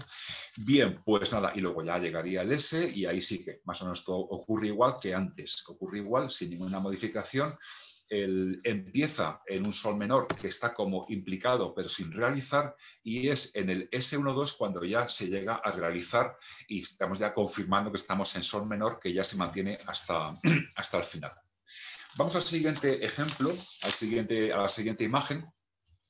Ahí está. Bueno, esta sonata, la número 56, es especialmente notoria y os recomiendo, bueno, como con todas, no hacemos audición porque, por supuesto, no daría tiempo, pero por supuesto, todo esto hoy en día se puede conseguir fácilmente en cualquier eh, canal de Internet, tanto la partitura como la música, para que luego comprobéis tranquilamente lo que estoy diciendo y estéis de acuerdo o en desacuerdo, que para eso estamos, para tener aquí un amigable foro de intercambio de, ideas. Eh, a ver, la 56. Esto es un ejemplo maravilloso porque aquí está haciendo Soler lo mismo que luego va a hacer Haydn, que después va a hacer Haydn y Mozart. Es decir, construye un tema P único que tiene estructura de periodo. Por eso pongo P ant y P cons, antecedente y consecuente. Son dos segmentos que termina el primero de ellos con una semicadencia, como está mandado, y luego el segundo con cadencia evadida, en este caso. Bien, pues ya está. Eh, luego viene la transición. Eh, también aquí estamos ante una, em, ¿dónde está? Aquí, una SKS, porque no entra, tampoco entra en la tonalidad como debería, estamos en Fa mayor, uno esperaría Do mayor como SK, y en lugar de Do mayor vamos a entrar en un Do menor y luego se va a ir a Mi bemol mayor, nada menos, o sea que ahí lo podéis ver. Eh, por eso he abierto un tercer nivel intermedio con esa SKS, el Mi bemol mayor, para que lo podamos ver desde tres puntos de vista. Estos serían ejemplos de análisis multinivel. Entonces, em, ¿qué pasa aquí? Cuando llegamos a la segunda parte, bien, al principio desarrollo, deriva de T1, eh, de T11 y luego llega 67. ¿Qué está respondiendo? El antecedente del tema principal. Basta con eso. ¿Por qué? Porque ese nos va a dejar, claro, como pasó arriba, en una semicadencia en la dominante de la HK. ¿Para qué vas a ponerle consecuente si ese se cierra en tónica, se cierra en cadencia y lo que queremos es quedarnos en semicadencia como a la expectativa para que llegue el tema secundario? ¿Y para qué queremos transición si no hay que modular? Entonces omite tranquilamente la transición, omite el consecuente y solamente expone o responde el antecedente. Esto también ocurre en Haydn, lo podéis comprobar en obras tempranas incluso medias de la música de, de Haydn. Bien, y ya está. Y ya después de haber llegado al mismo punto en la HK eh, que en el compás 22 en la SK, fijaos, ocurre lo mismo. En el compás 22 encontramos una semicadencia con cesura media en la SK. Aquí estamos igual, semicadencia en la HK ahora con cesura media. Damos paso al grupo secundario y, al K. Con la diferencia de que aquí, fijaos cómo era tan complejo, estamos comparando lo que pasa en los dos rectángulos e incluso aquí hay una variación tonal, porque el S1.2 está variado y además se está respondiendo en la TG de eh, Fa mayor, o sea, en Re bemol mayor, cuando arriba se expuso en la TP, que es el relativo mayor. O sea que ahí también hay diferencia tonal, tonal en ese sentido.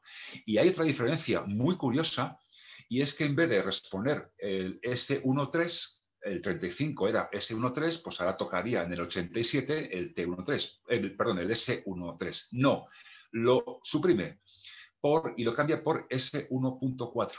Aquí tenemos un ejemplo de modificación por sustitución. Cambiamos un módulo, lo eliminamos y metemos otro nuevo, el S14. Ahí también lo podéis ver, está reflejado en la casilla correspondiente de las modificaciones. Bueno, aquí estamos viendo, no lo he dicho antes, pero aquí lo podemos ver igual. Claro, la diferencia entre las proporciones. En la segunda parte, 19.33, si consideramos todo lo que hay antes de S y S más K. Pero si consideramos el desarrollo, el desarrollo dura solo 13 compases, mientras que la recapitulación dura 39, claro, porque hay que responder, eh, se escucha todo el P antecedente y todo lo que viene después. Entonces, hay ya diferencia entre ambos términos. Y ahí, claro, una doble cruz. Una, cuando se responde el antecedente como tal, el P como tal, material que retorna en el compás 67. Y luego otra cuando ya retorna el grupo secundario en el 74. Ahí tenemos la doble cruz que antes también hemos, hemos comentado.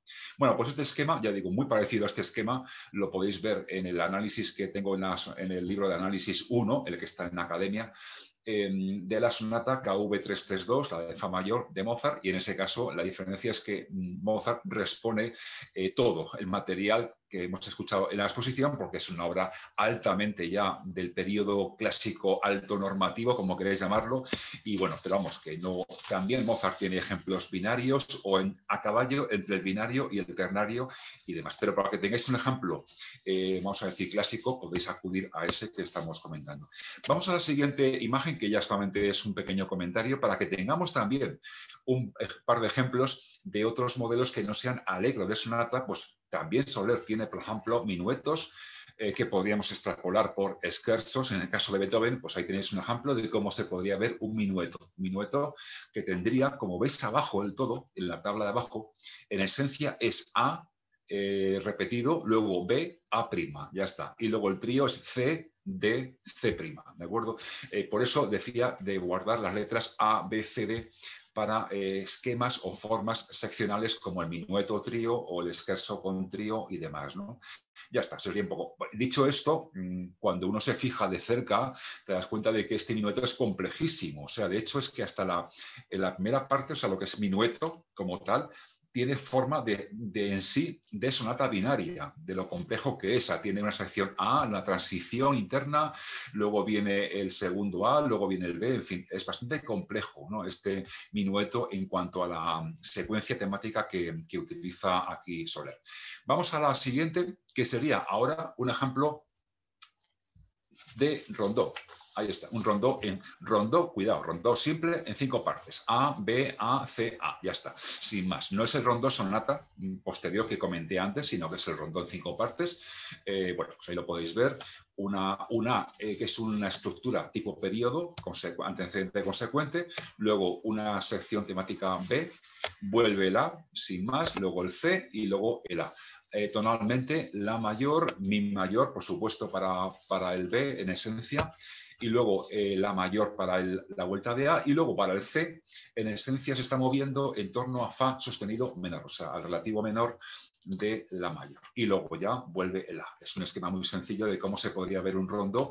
Fijaos que luego, dentro de, abajo del todo, en el análisis de cada, de cada sección, también utilizo el análisis de coupling de las frases tipo periodo, tipo subtipo 1, 2, o sentencia, o híbrido, o pequeña binaria, pequeña ternaria, que no puedo ni entrar en ello. Pero también esto si queréis ver esquemas de los tipos de frase, eh, también en el libro de análisis 1, eh, al comienzo del tema, 5, del tema 6, que es cuando hablo de sonata, también está ahí eh, puesto en forma de gráficos, porque Kaplan lo explica de palabra, pero es mejor verlo como un gráfico para que también veamos la secuencia que se da en la sucesión de segmentos temáticos dentro de ese tipo de frases.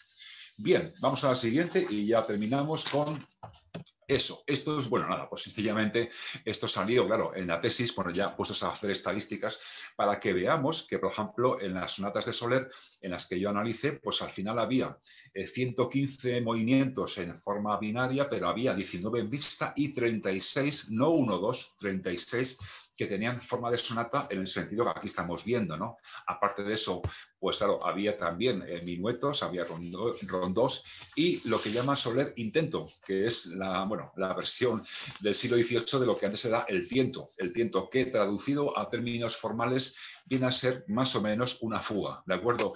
En vez de decir fuga, ellos decían intento y ya está, pero cuando uno ve los intentos de Soler, más o menos podrían pasar por fugas perfectamente, como también pasan por fugas las recercadas de eh, Albero. También tiene Albero una colección de seis recercadas y tal, perdón, las, las fugas también de Albero como tales. Y bueno, son fugas de una alta complejidad también armónica, o sea que teníamos que verlo, ¿no?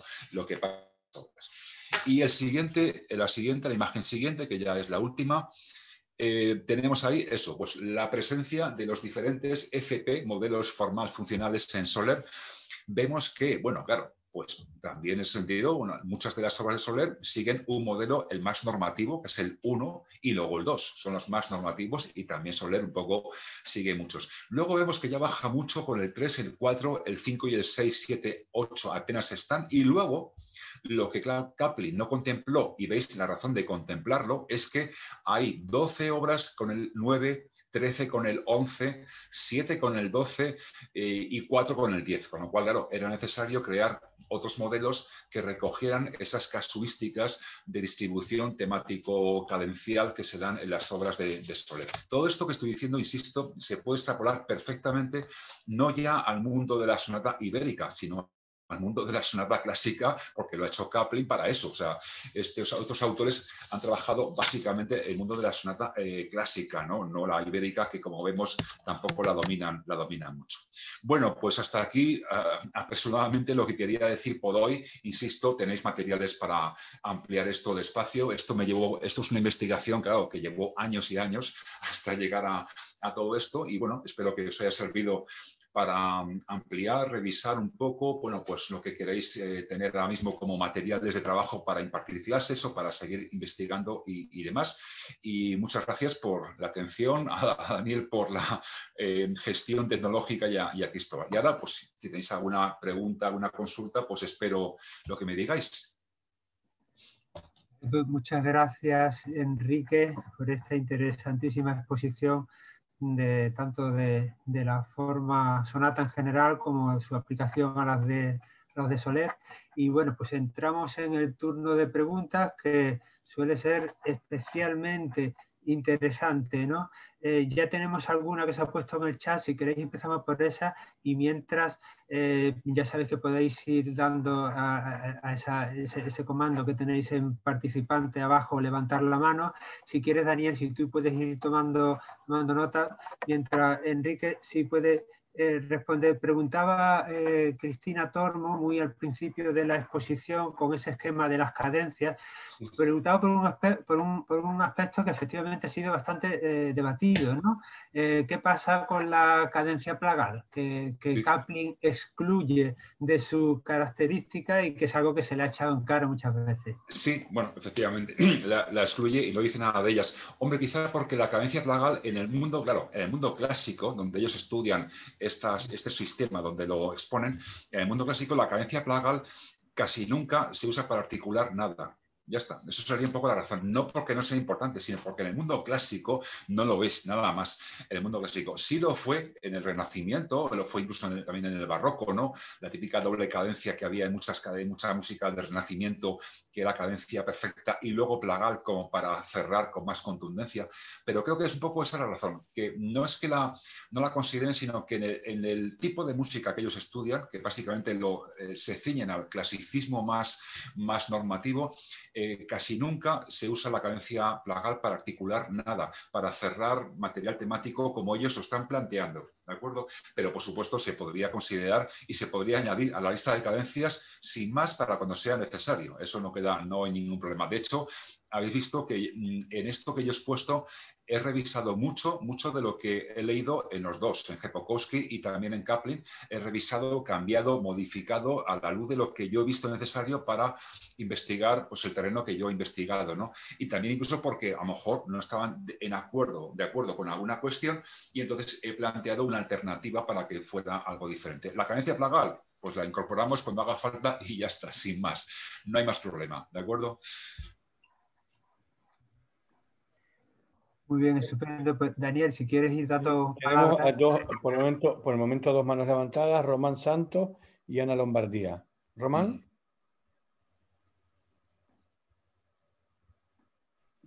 Ahora creo. Eh, muchas gracias eh, por la conferencia. Lo primero, ha estado muy interesante. Quería preguntar eh, por los esquemata de Gerdingen. ¿Hasta qué punto encuentras los esquemata en estas sonatas y cuánto de útiles han sido en el análisis para describir la música que hay.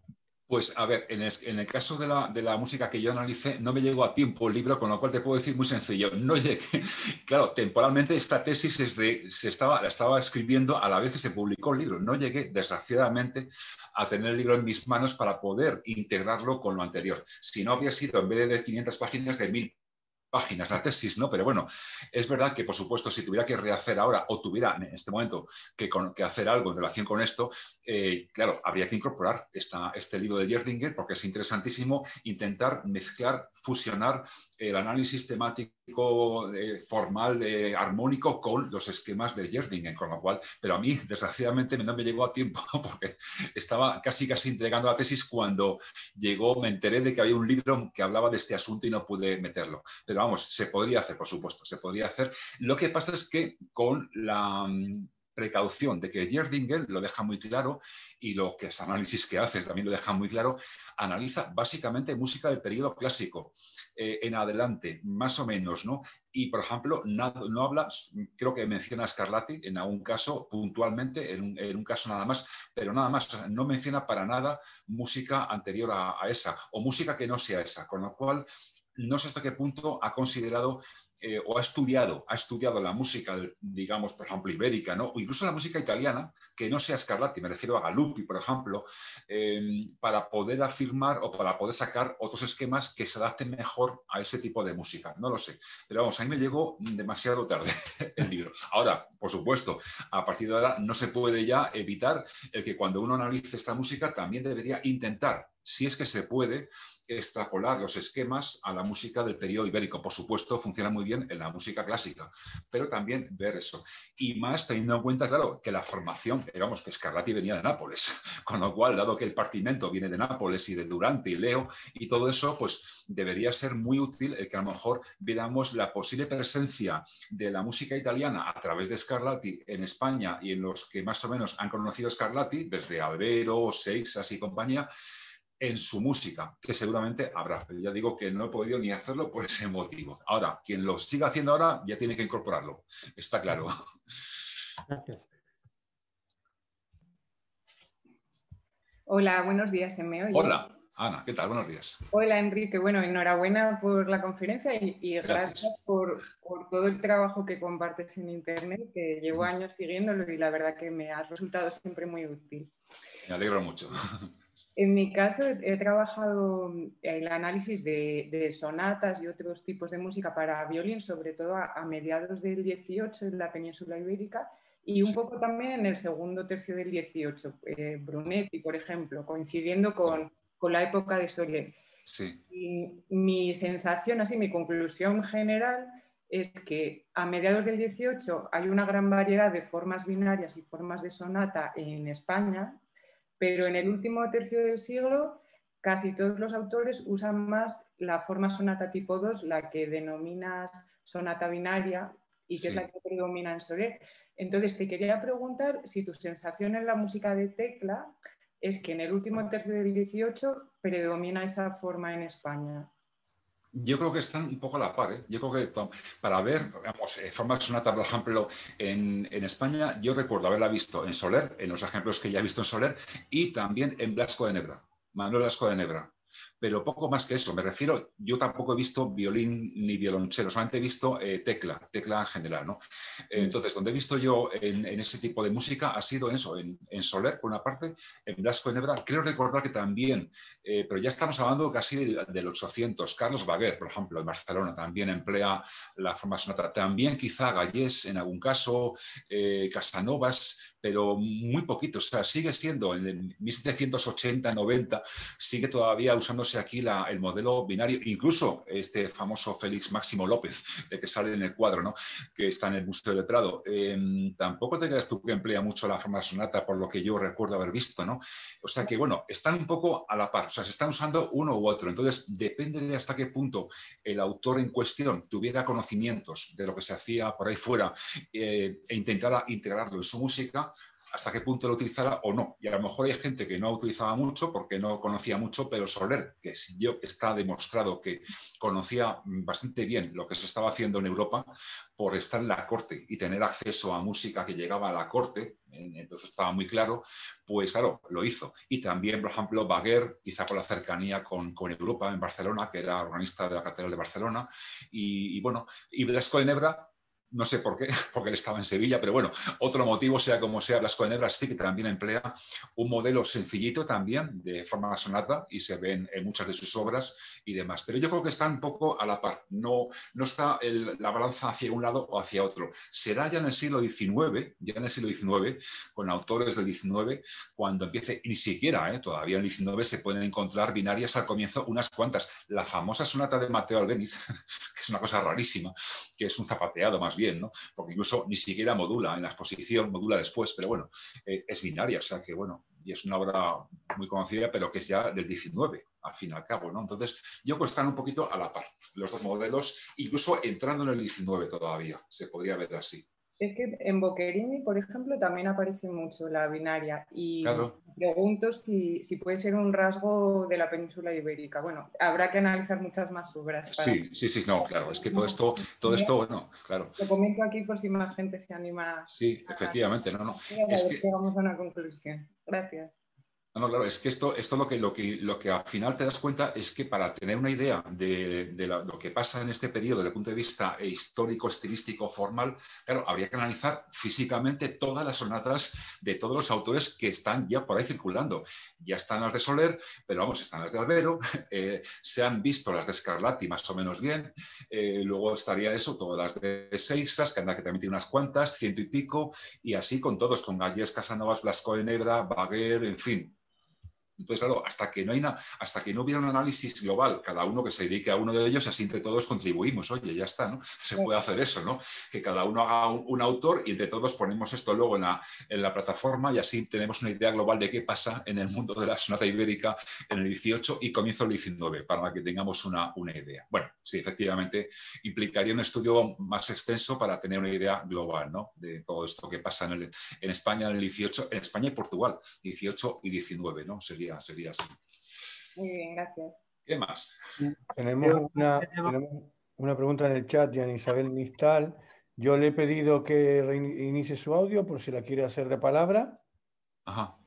Ana Isabel. No sé si, me está escuchando bien. Se oye un poco bajo.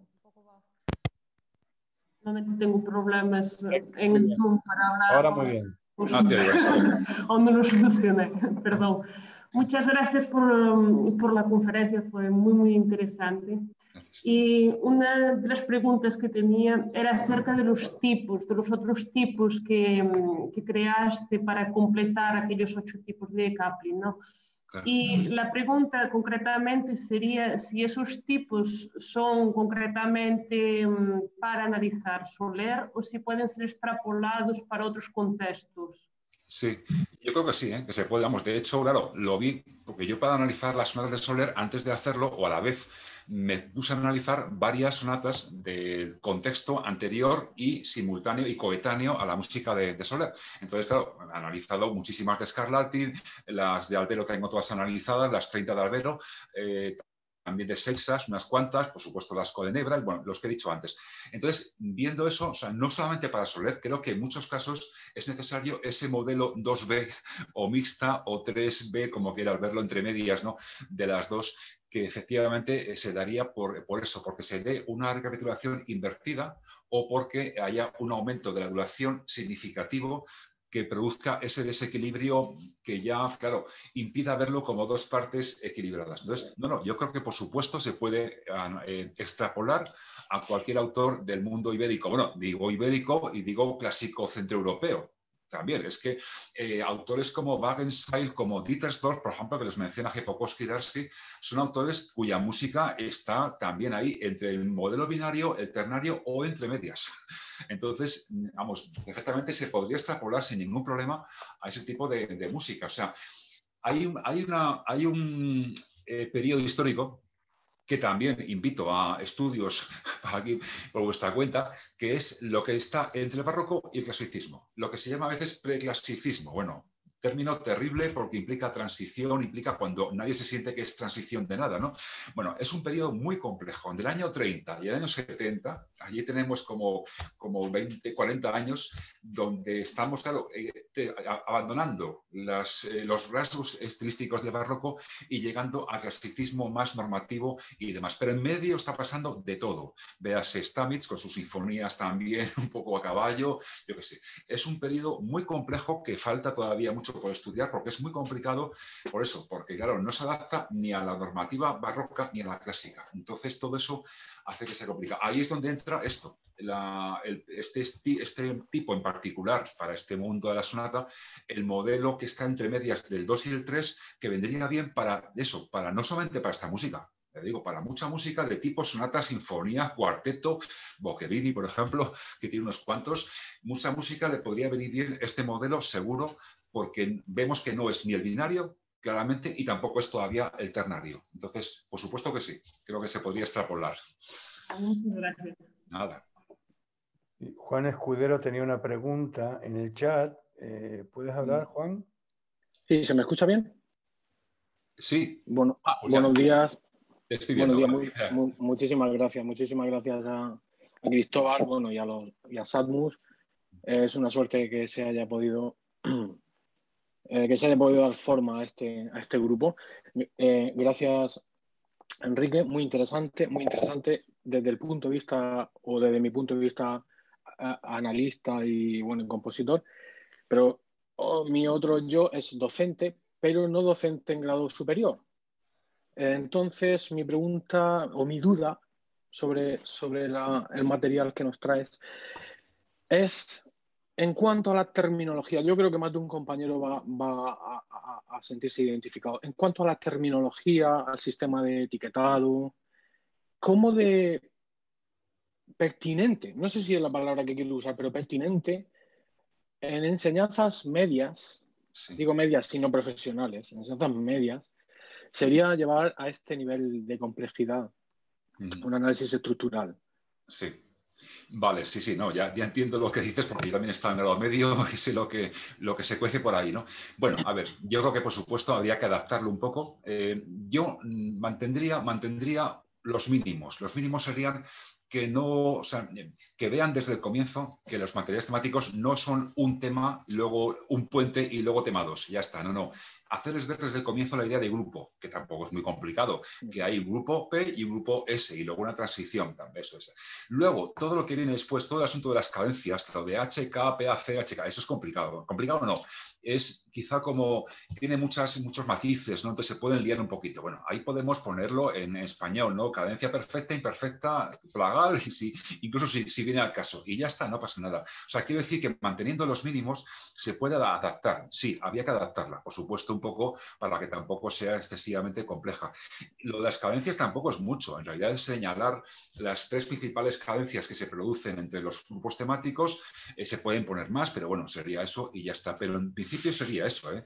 Eh, realmente adaptarlo, se puede adaptar. Seguramente, como ahí tenéis dos páginas de terminología, quedaros con lo esencial, lo que os parezca más importante y ya está. Y se puede hacer y se puede utilizar seguro en grado medio igual para que tampoco vayan ya al superior desde una visión muy simplista. Creo que ya con 15 años se les puede decir cosas más serias sin que tampoco tengan un trauma para toda la vida, ¿no? Con ese tipo de, cosas, ¿de acuerdo? Yo creo que sí, se, puede adaptar seguro, claro que sí, dejándolo en unos mínimos y quitando, poniéndolo de aquí y de allá para que quede un poco más adaptado a, ese grado medio profesional y luego ya en el superior es donde terminarán de verlo más, más a fondo, ¿vale?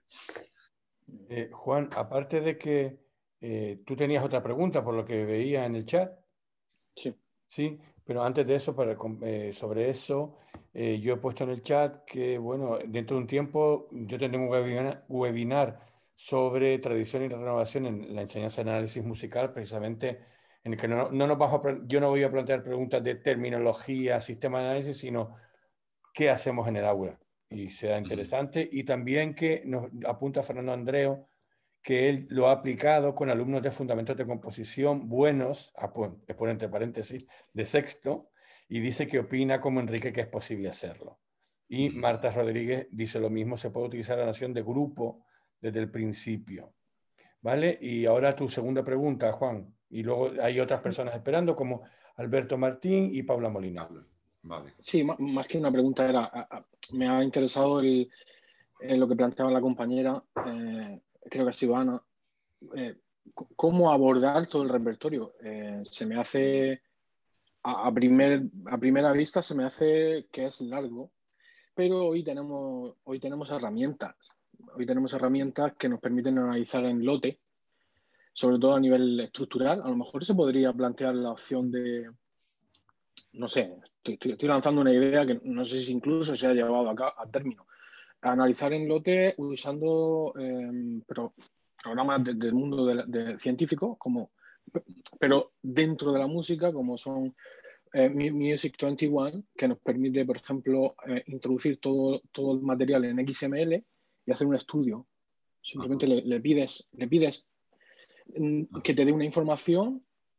No sé, a lo mejor incluso sería muy tedioso transcribir todo a, y volcarlo todo a XML, pero bueno, que la herramienta está. Sí, sí, sí. Y no sé si podría ir por ahí. Vale, bueno, eso, eso, eso queda para los jóvenes. Yo ya ese tipo de cosas a mí ya me superan. Yo bastante, bastante tengo con escribir en el ordenador este tipo de cosas. No, la verdad es que, bueno, sí, estaría muy bien. Y para eso está la tecnología. Sí, también puede valer para aprovechar y facilitar el tipo de análisis. Ahí está, bueno, pues quien pueda, quien sepa y pueda utilizarlo, adelante. Yo todavía soy de análisis en, hoja de papel, apuntando todo allí. Y así es como lo hice, ¿no? En el caso de, de todos estos análisis, lo tengo todo en papel todavía. Eh, y demás. Pero bueno, por supuesto, claro, claro que sí. Si se puede hacer, si se puede informatizar el material, cualquier tipo de, este, actividad, vendría muy bien para agilizar, ¿no? Para poder tener, porque claro, es mucha música para analizar. Entonces sí viene bien el poder tenerlo así y darle una, especie de, eh, vamos, que sea más rápido hacerlo con, con herramientas informáticas. Por supuesto que sí. O sea que adelante quien sepa hacerlo y pueda hacerlo, claro que sí. ¿Qué más? Tenemos pendiente a Alberto Martín, luego a Paula Molina y Juan David Manco. Perfecto. Alberto. Sí, bueno, yo primeramente eh, eh, felicitar al profesor Igoa por la, por la conferencia, la verdad que es súper informativa y, muy clara. Gracias. Y, luego tenía una pregunta sobre hasta qué punto podemos hablar en la música de, Soler de, de, temas propiamente dichos. Me refiero en el sentido un poco clásico del término, pues con articulaciones internas y bien definidos memorables, como dicen los anglos. Eh, em, y, vino de, en contraposición a, grupos temáticos, digamos. Sí, sí, sí, sí. Bueno, efectivamente, sí. Bueno, digo, he dicho todo el tiempo temas, pero también he dicho mucho o he escrito material temático. Material en el sentido de, bueno, algo. Ahí pasa algo que está en la tónica principal y hace como de material de apertura. No tiene por qué ser eso un tema memorable, puede ser un tema sin más, puede ser un arpegio, puede ser cualquier cosa. También pasaba en Scarlatti, pasaba un poco lo mismo. O sea que, bueno, claro, estamos ante otra dinámica. Nadie espere aquí escuchar eso, el tema de la apasionata al comienzo de una obra, ¿no? Es otra, otra dinámica de composición, de concepción musical, la que tienen los autores eh, ibéricos, que viene, al fin y al cabo, de, todavía del barroco, eh, viene del barroco, viene del barroco mezclado con además la influencia italiana, en parte, cuidado, eh, solamente en parte, tampoco hay que exagerar la influencia italiana, y esa mezcla, bueno, es em, un tipo de material que en algún caso es un, es un sonido que no parecería un tema, pero hay veces que sí, que el tema suena más melódico y tal. Efectivamente, eh, lo digo muchas veces en, la, en, los estudios que he hecho y tal, eh, pongo siempre más que tema o escribo a la vez material temático, en el sentido de que no es un tema melódico, o sea, nunca pongo melodía jamás, o sea, nada de poner melodía. Hablamos de eso, tema en el sentido de material temático, de grupo temático, de mm, algo que se nos ofrece eh, como inicio de una obra que está en la tónica principal y ya está, y que va a tener, muchas veces es muy corto. O sea, como habéis visto, muchos, muchos temas de Soler y de Scarlatti y de tantos otros son muy cortos, duran ocho compases y se acabó, ocho o diez compases, y además, en teoría, puede no reaparecer más, porque en la segunda parte podríamos, en el desarrollo, no emplear P, ni siquiera empezar por P, podríamos empezar por otra cosa.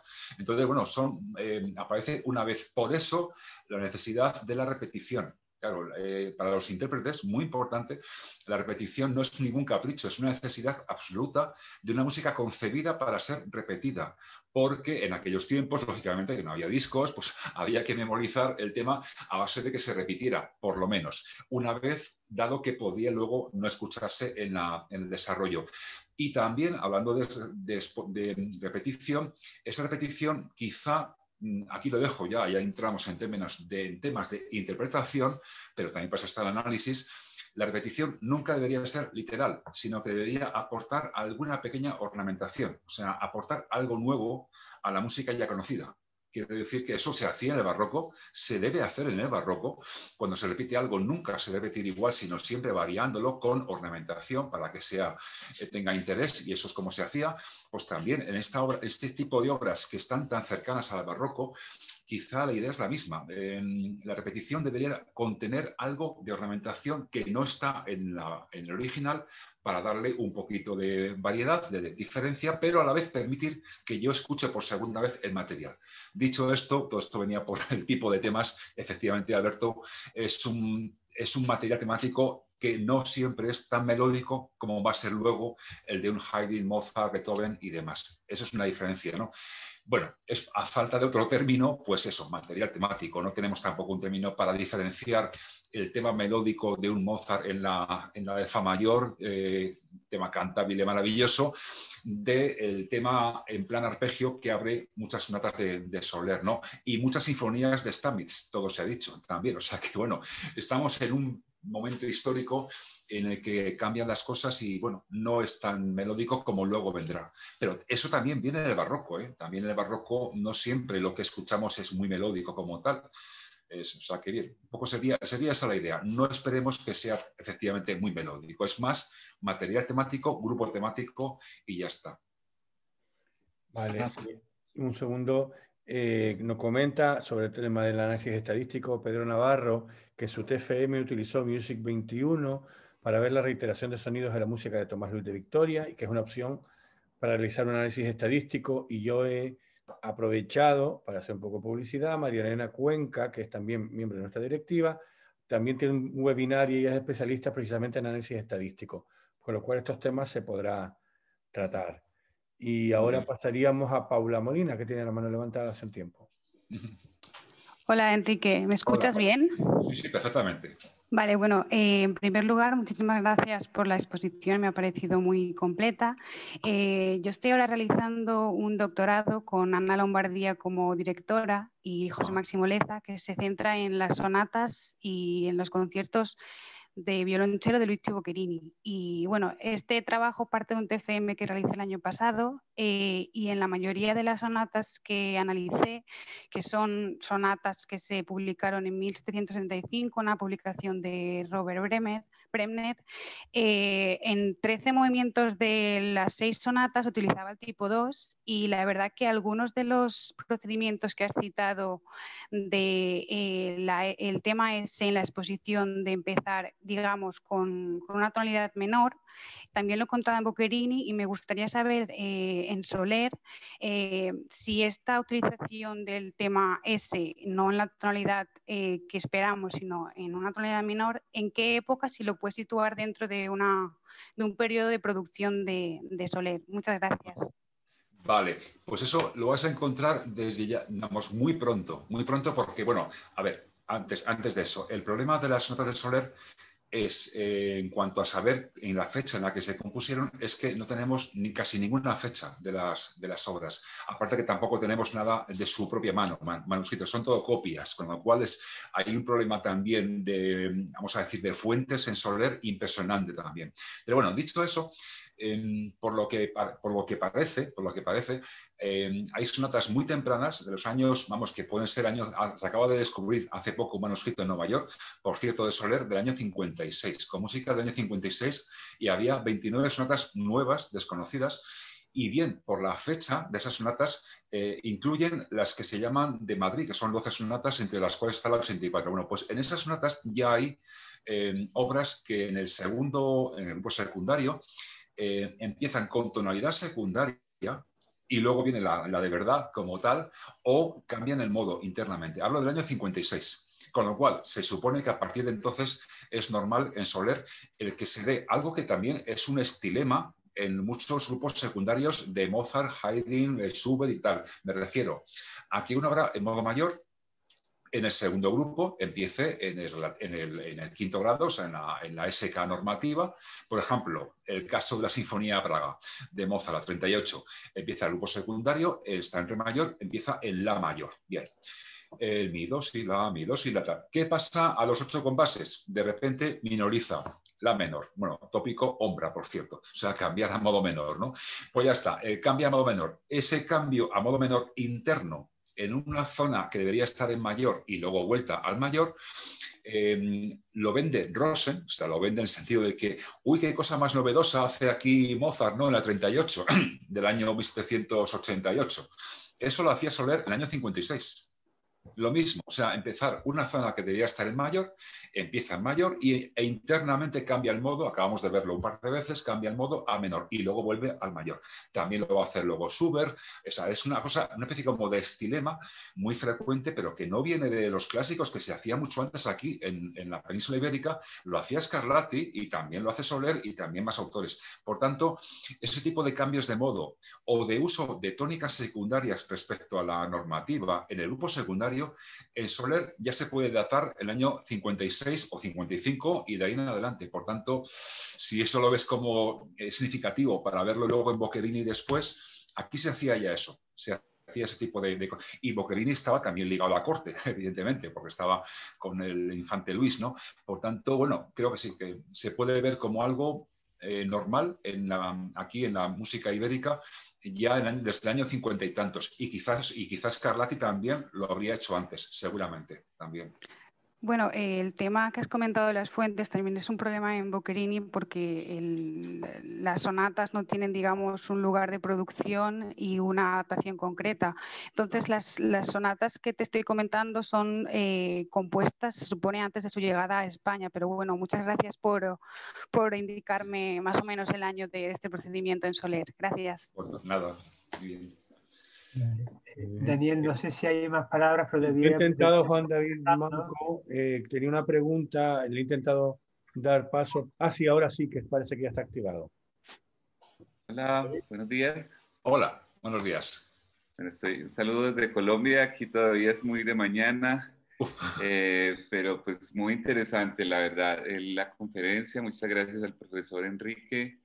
Eh, este, me ha interesado mucho porque Recién eh, estoy ya terminando una tesis de doctorado en lo que yo he considerado, en lo que he denominado como análisis macroformal de, de, sonatas o incluso de sinfonías, ¿no? es decir, de obras multimovimientos. Eh, y pues he tratado de hallar ciertas relaciones y cosas entre movimientos que incluso eh, eh este, Newman y, y varios han, han, planteado pues, reflexiones en torno a esto. Eh, entonces, me gustaría preguntarte eh, si de pronto en esos análisis, en esta investigación que realizaste, eh, identificaste, digamos, algunas prácticas eh, macroformales en estas sonatas de Soler en, obras particularmente pues multimovimientos, es decir, podemos comparar estas sonatas en la manera multimovimientos como trabajaron, digamos, los clásicos Mozart, Haydn, Beethoven, o, hay particularidades, en fin, como más o menos eh, algún tipo de, información relacionada con esto. Muchas gracias. Vale, mira, pues eh, yo lo que he visto, lo que he visto en las obras de Soler de entrada, y pasa igual con Seixas, ¿eh? con Carlos Seixas en Portugal, es que aquí no había ningún tipo de, costumbre o de práctica común única, sino que era todo diferente. Las notas que ya podíamos llamar multimovimiento de Soler, o sea, las que escribió eh, de alguna forma con un número e integradas por tres, cuatro movimientos, cada bloque, porque eh, a partir del año 60, no, 77 más o menos, empezó a escribir un bloque de seis sonatas cada año para el infante Don Gabriel, del que nunca fue maestro, por cierto, pues acaso todavía leéis por aquí en algún libro de historia, fue maestro del infante Don Gabriel, no fue maestro porque vivía en el Escorial y el infante vivía en la corte en Madrid. Y en aquellos años 50 kilómetros eran seis días de carroza, por tanto es imposible. El maestro en Madrid del infante Don Gabriel era Nicolás Conforto. Sí tuvo relación con el infante cuando la corte iba en otoño a pasar el otoño al Escorial. Entonces, claro, dos meses sí coincidían y siempre le tenía compuestas a partir del año 77 seis sonatas eh, multimovimiento. Y esas son las que tenemos datadas y con fecha, porque pone año tal dedicadas al infante Don Gabriel. Bueno, pues cada bloque, cada serie de seis sonatas tiene una casuística interna diferente, o sea que no hay ningún tipo, de hecho, la idea de alegro, por ejemplo, lento, minueto, eh, presto final, típica del clasicismo, jamás se da aquí. O sea, nunca encontraremos nada ni parecido. Aquí es frecuente empezar con un alegro, luego puede haber un minueto o terminar con minueto en medio de un rondó, pero puede ser que el rondó no sea el final, sino que sea el comienzo de la obra. Es decir, un total desorden en cuanto a eso. Creo que también en la tesis también hay un apartado en el que estudio sobre las, las obras multimovimiento de Soler, eh, las de dos movimientos, que también alguna tiene, donde claramente se ve que son dos movimientos, como ya de entrada, y luego las multimovimiento eh, finales de su vida, ¿no? Pero no hay ningún tipo de normativa. Entonces, claro, no puedes crear una especie como de práctica común que hace Soler siempre, ¿no? Y Seixas lo mismo. Seixas tiene en un movimiento, en dos, en tres y en cuatro, sin ningún tipo de práctica común o de secuencia más o menos igual. No, no, todo va variando en ese sentido, ¿no? También en esto es bueno recordar otro asunto a tener en cuenta para las sonatas estas cortas de Scarlatti, de Soler, de Albert y compañía. Y es también algo que tiene que ver con esto que decimos. Y es el asunto de las sonatas, llamo yo, sonatas agrupadas. Es decir, muchas de estas sonatas em, se conservan en copias o incluso en manuscritos del autor ordenadas de forma que cada dos están en la misma tonalidad. Claro, eso es sospechoso cuando lo ves en albero, son 30, y entonces la 1 y la 2 en Do mayor, 3 y 4 en Re menor, 5 y 6 en Fa mayor y así. Claro, cuando lo ves en albero, lo ves en Scarlatti, lo ves también en Soler, en fin, en muchas ordenaciones dadas por el autor, o sea, que se ven que son del autor, porque son obras tan breves que en sí tendrían como quizá poca presencia, poca prestancia. Entonces, ¿qué se hace? Agruparlas de dos en dos, pero no de cualquier forma, no, se hace a la italiana, como hacían Rutini y Galuppi. Un movimiento, mm, digamos, moderado, tirando andante, nunca adagio, por aquí el adagio no se practicó, ni siquiera el grave, no. Pero bueno, moderado, lento y luego un alegro y un presto. Entonces, esa unión, esa en igual tonalidad o como mucho menor, mayor, pero siempre la misma, la misma tónica. Esa unión también se dio mucho y también hay que tenerlo un poco en cuenta, ¿de acuerdo? Para que, para que valoremos un poco la forma, la sonata como tal, que quizá no, no habría que verlo como algo aislado, sino en unión siempre con otra aunque esto también tiene complicación, porque las fuentes, hay copiaban obras sueltas sin tener en cuenta los originales y hay copia de copia de requete copia. Bueno, el tema de, las fuentes es muy complicado también. Bueno, dicho eso, lo que preguntabas, Juan, efectivamente no hay ningún tipo de normativa, nada que se parezca al modelo clásico centroeuropeo en las obras que yo conozco multimovimiento, ni en Soler, ni en Seixas y tampoco, por ejemplo, en Blasco de Nebra, que las hacía de dos movimientos, tampoco. Son eso, dos movimientos. Blasco de Ebra sí que sigue mucho el, esquema eh, moderado rápido, sí que lo hace en las, en las suyas, Blasco de Ebra, pero son de dos movimientos, no de tres ni de, ni de cuatro. O sea que es un tema amplio y que no tiene normativa de ningún tipo, solo te puedo decir eso. Muchas gracias. Nada.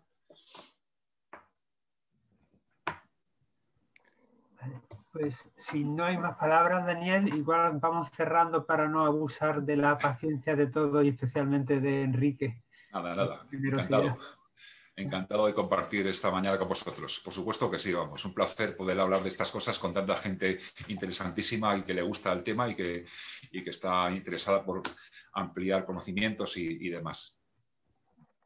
Muy bien, pues muchísimas gracias a Enrique, muchas gracias a todos los asistentes. Esperamos que os haya resultado interesante. Os animamos a participar en las actividades de la sociedad y, por supuesto, también a asociaros para poner un poquito más, un granito más de arena a esta sociedad joven y todavía pues eh, muy, muy en, en, embrión, ¿no?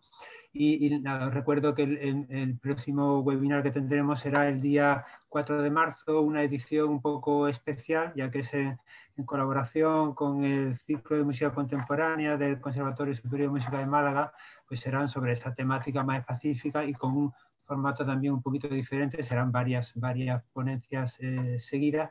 Ya iremos informando a través de la página web, siempre en satmus.org, quizá lo voy a poner en el chat, pues si puede, eh, y, os recuerdo también pues, que a los socios iremos informando pues, a través de, de los medios eh, habituales, ¿no? ya sea por el, por el grupo de difusión del correo electrónico o directamente enviando un correo electrónico. Eh, disculparnos por los problemas técnicos que hemos tenido, trataremos de ir solucionándolos para las siguientes ediciones. Este es el echar a andar, ¿no? Así que gracias a todos y, y hasta la próxima.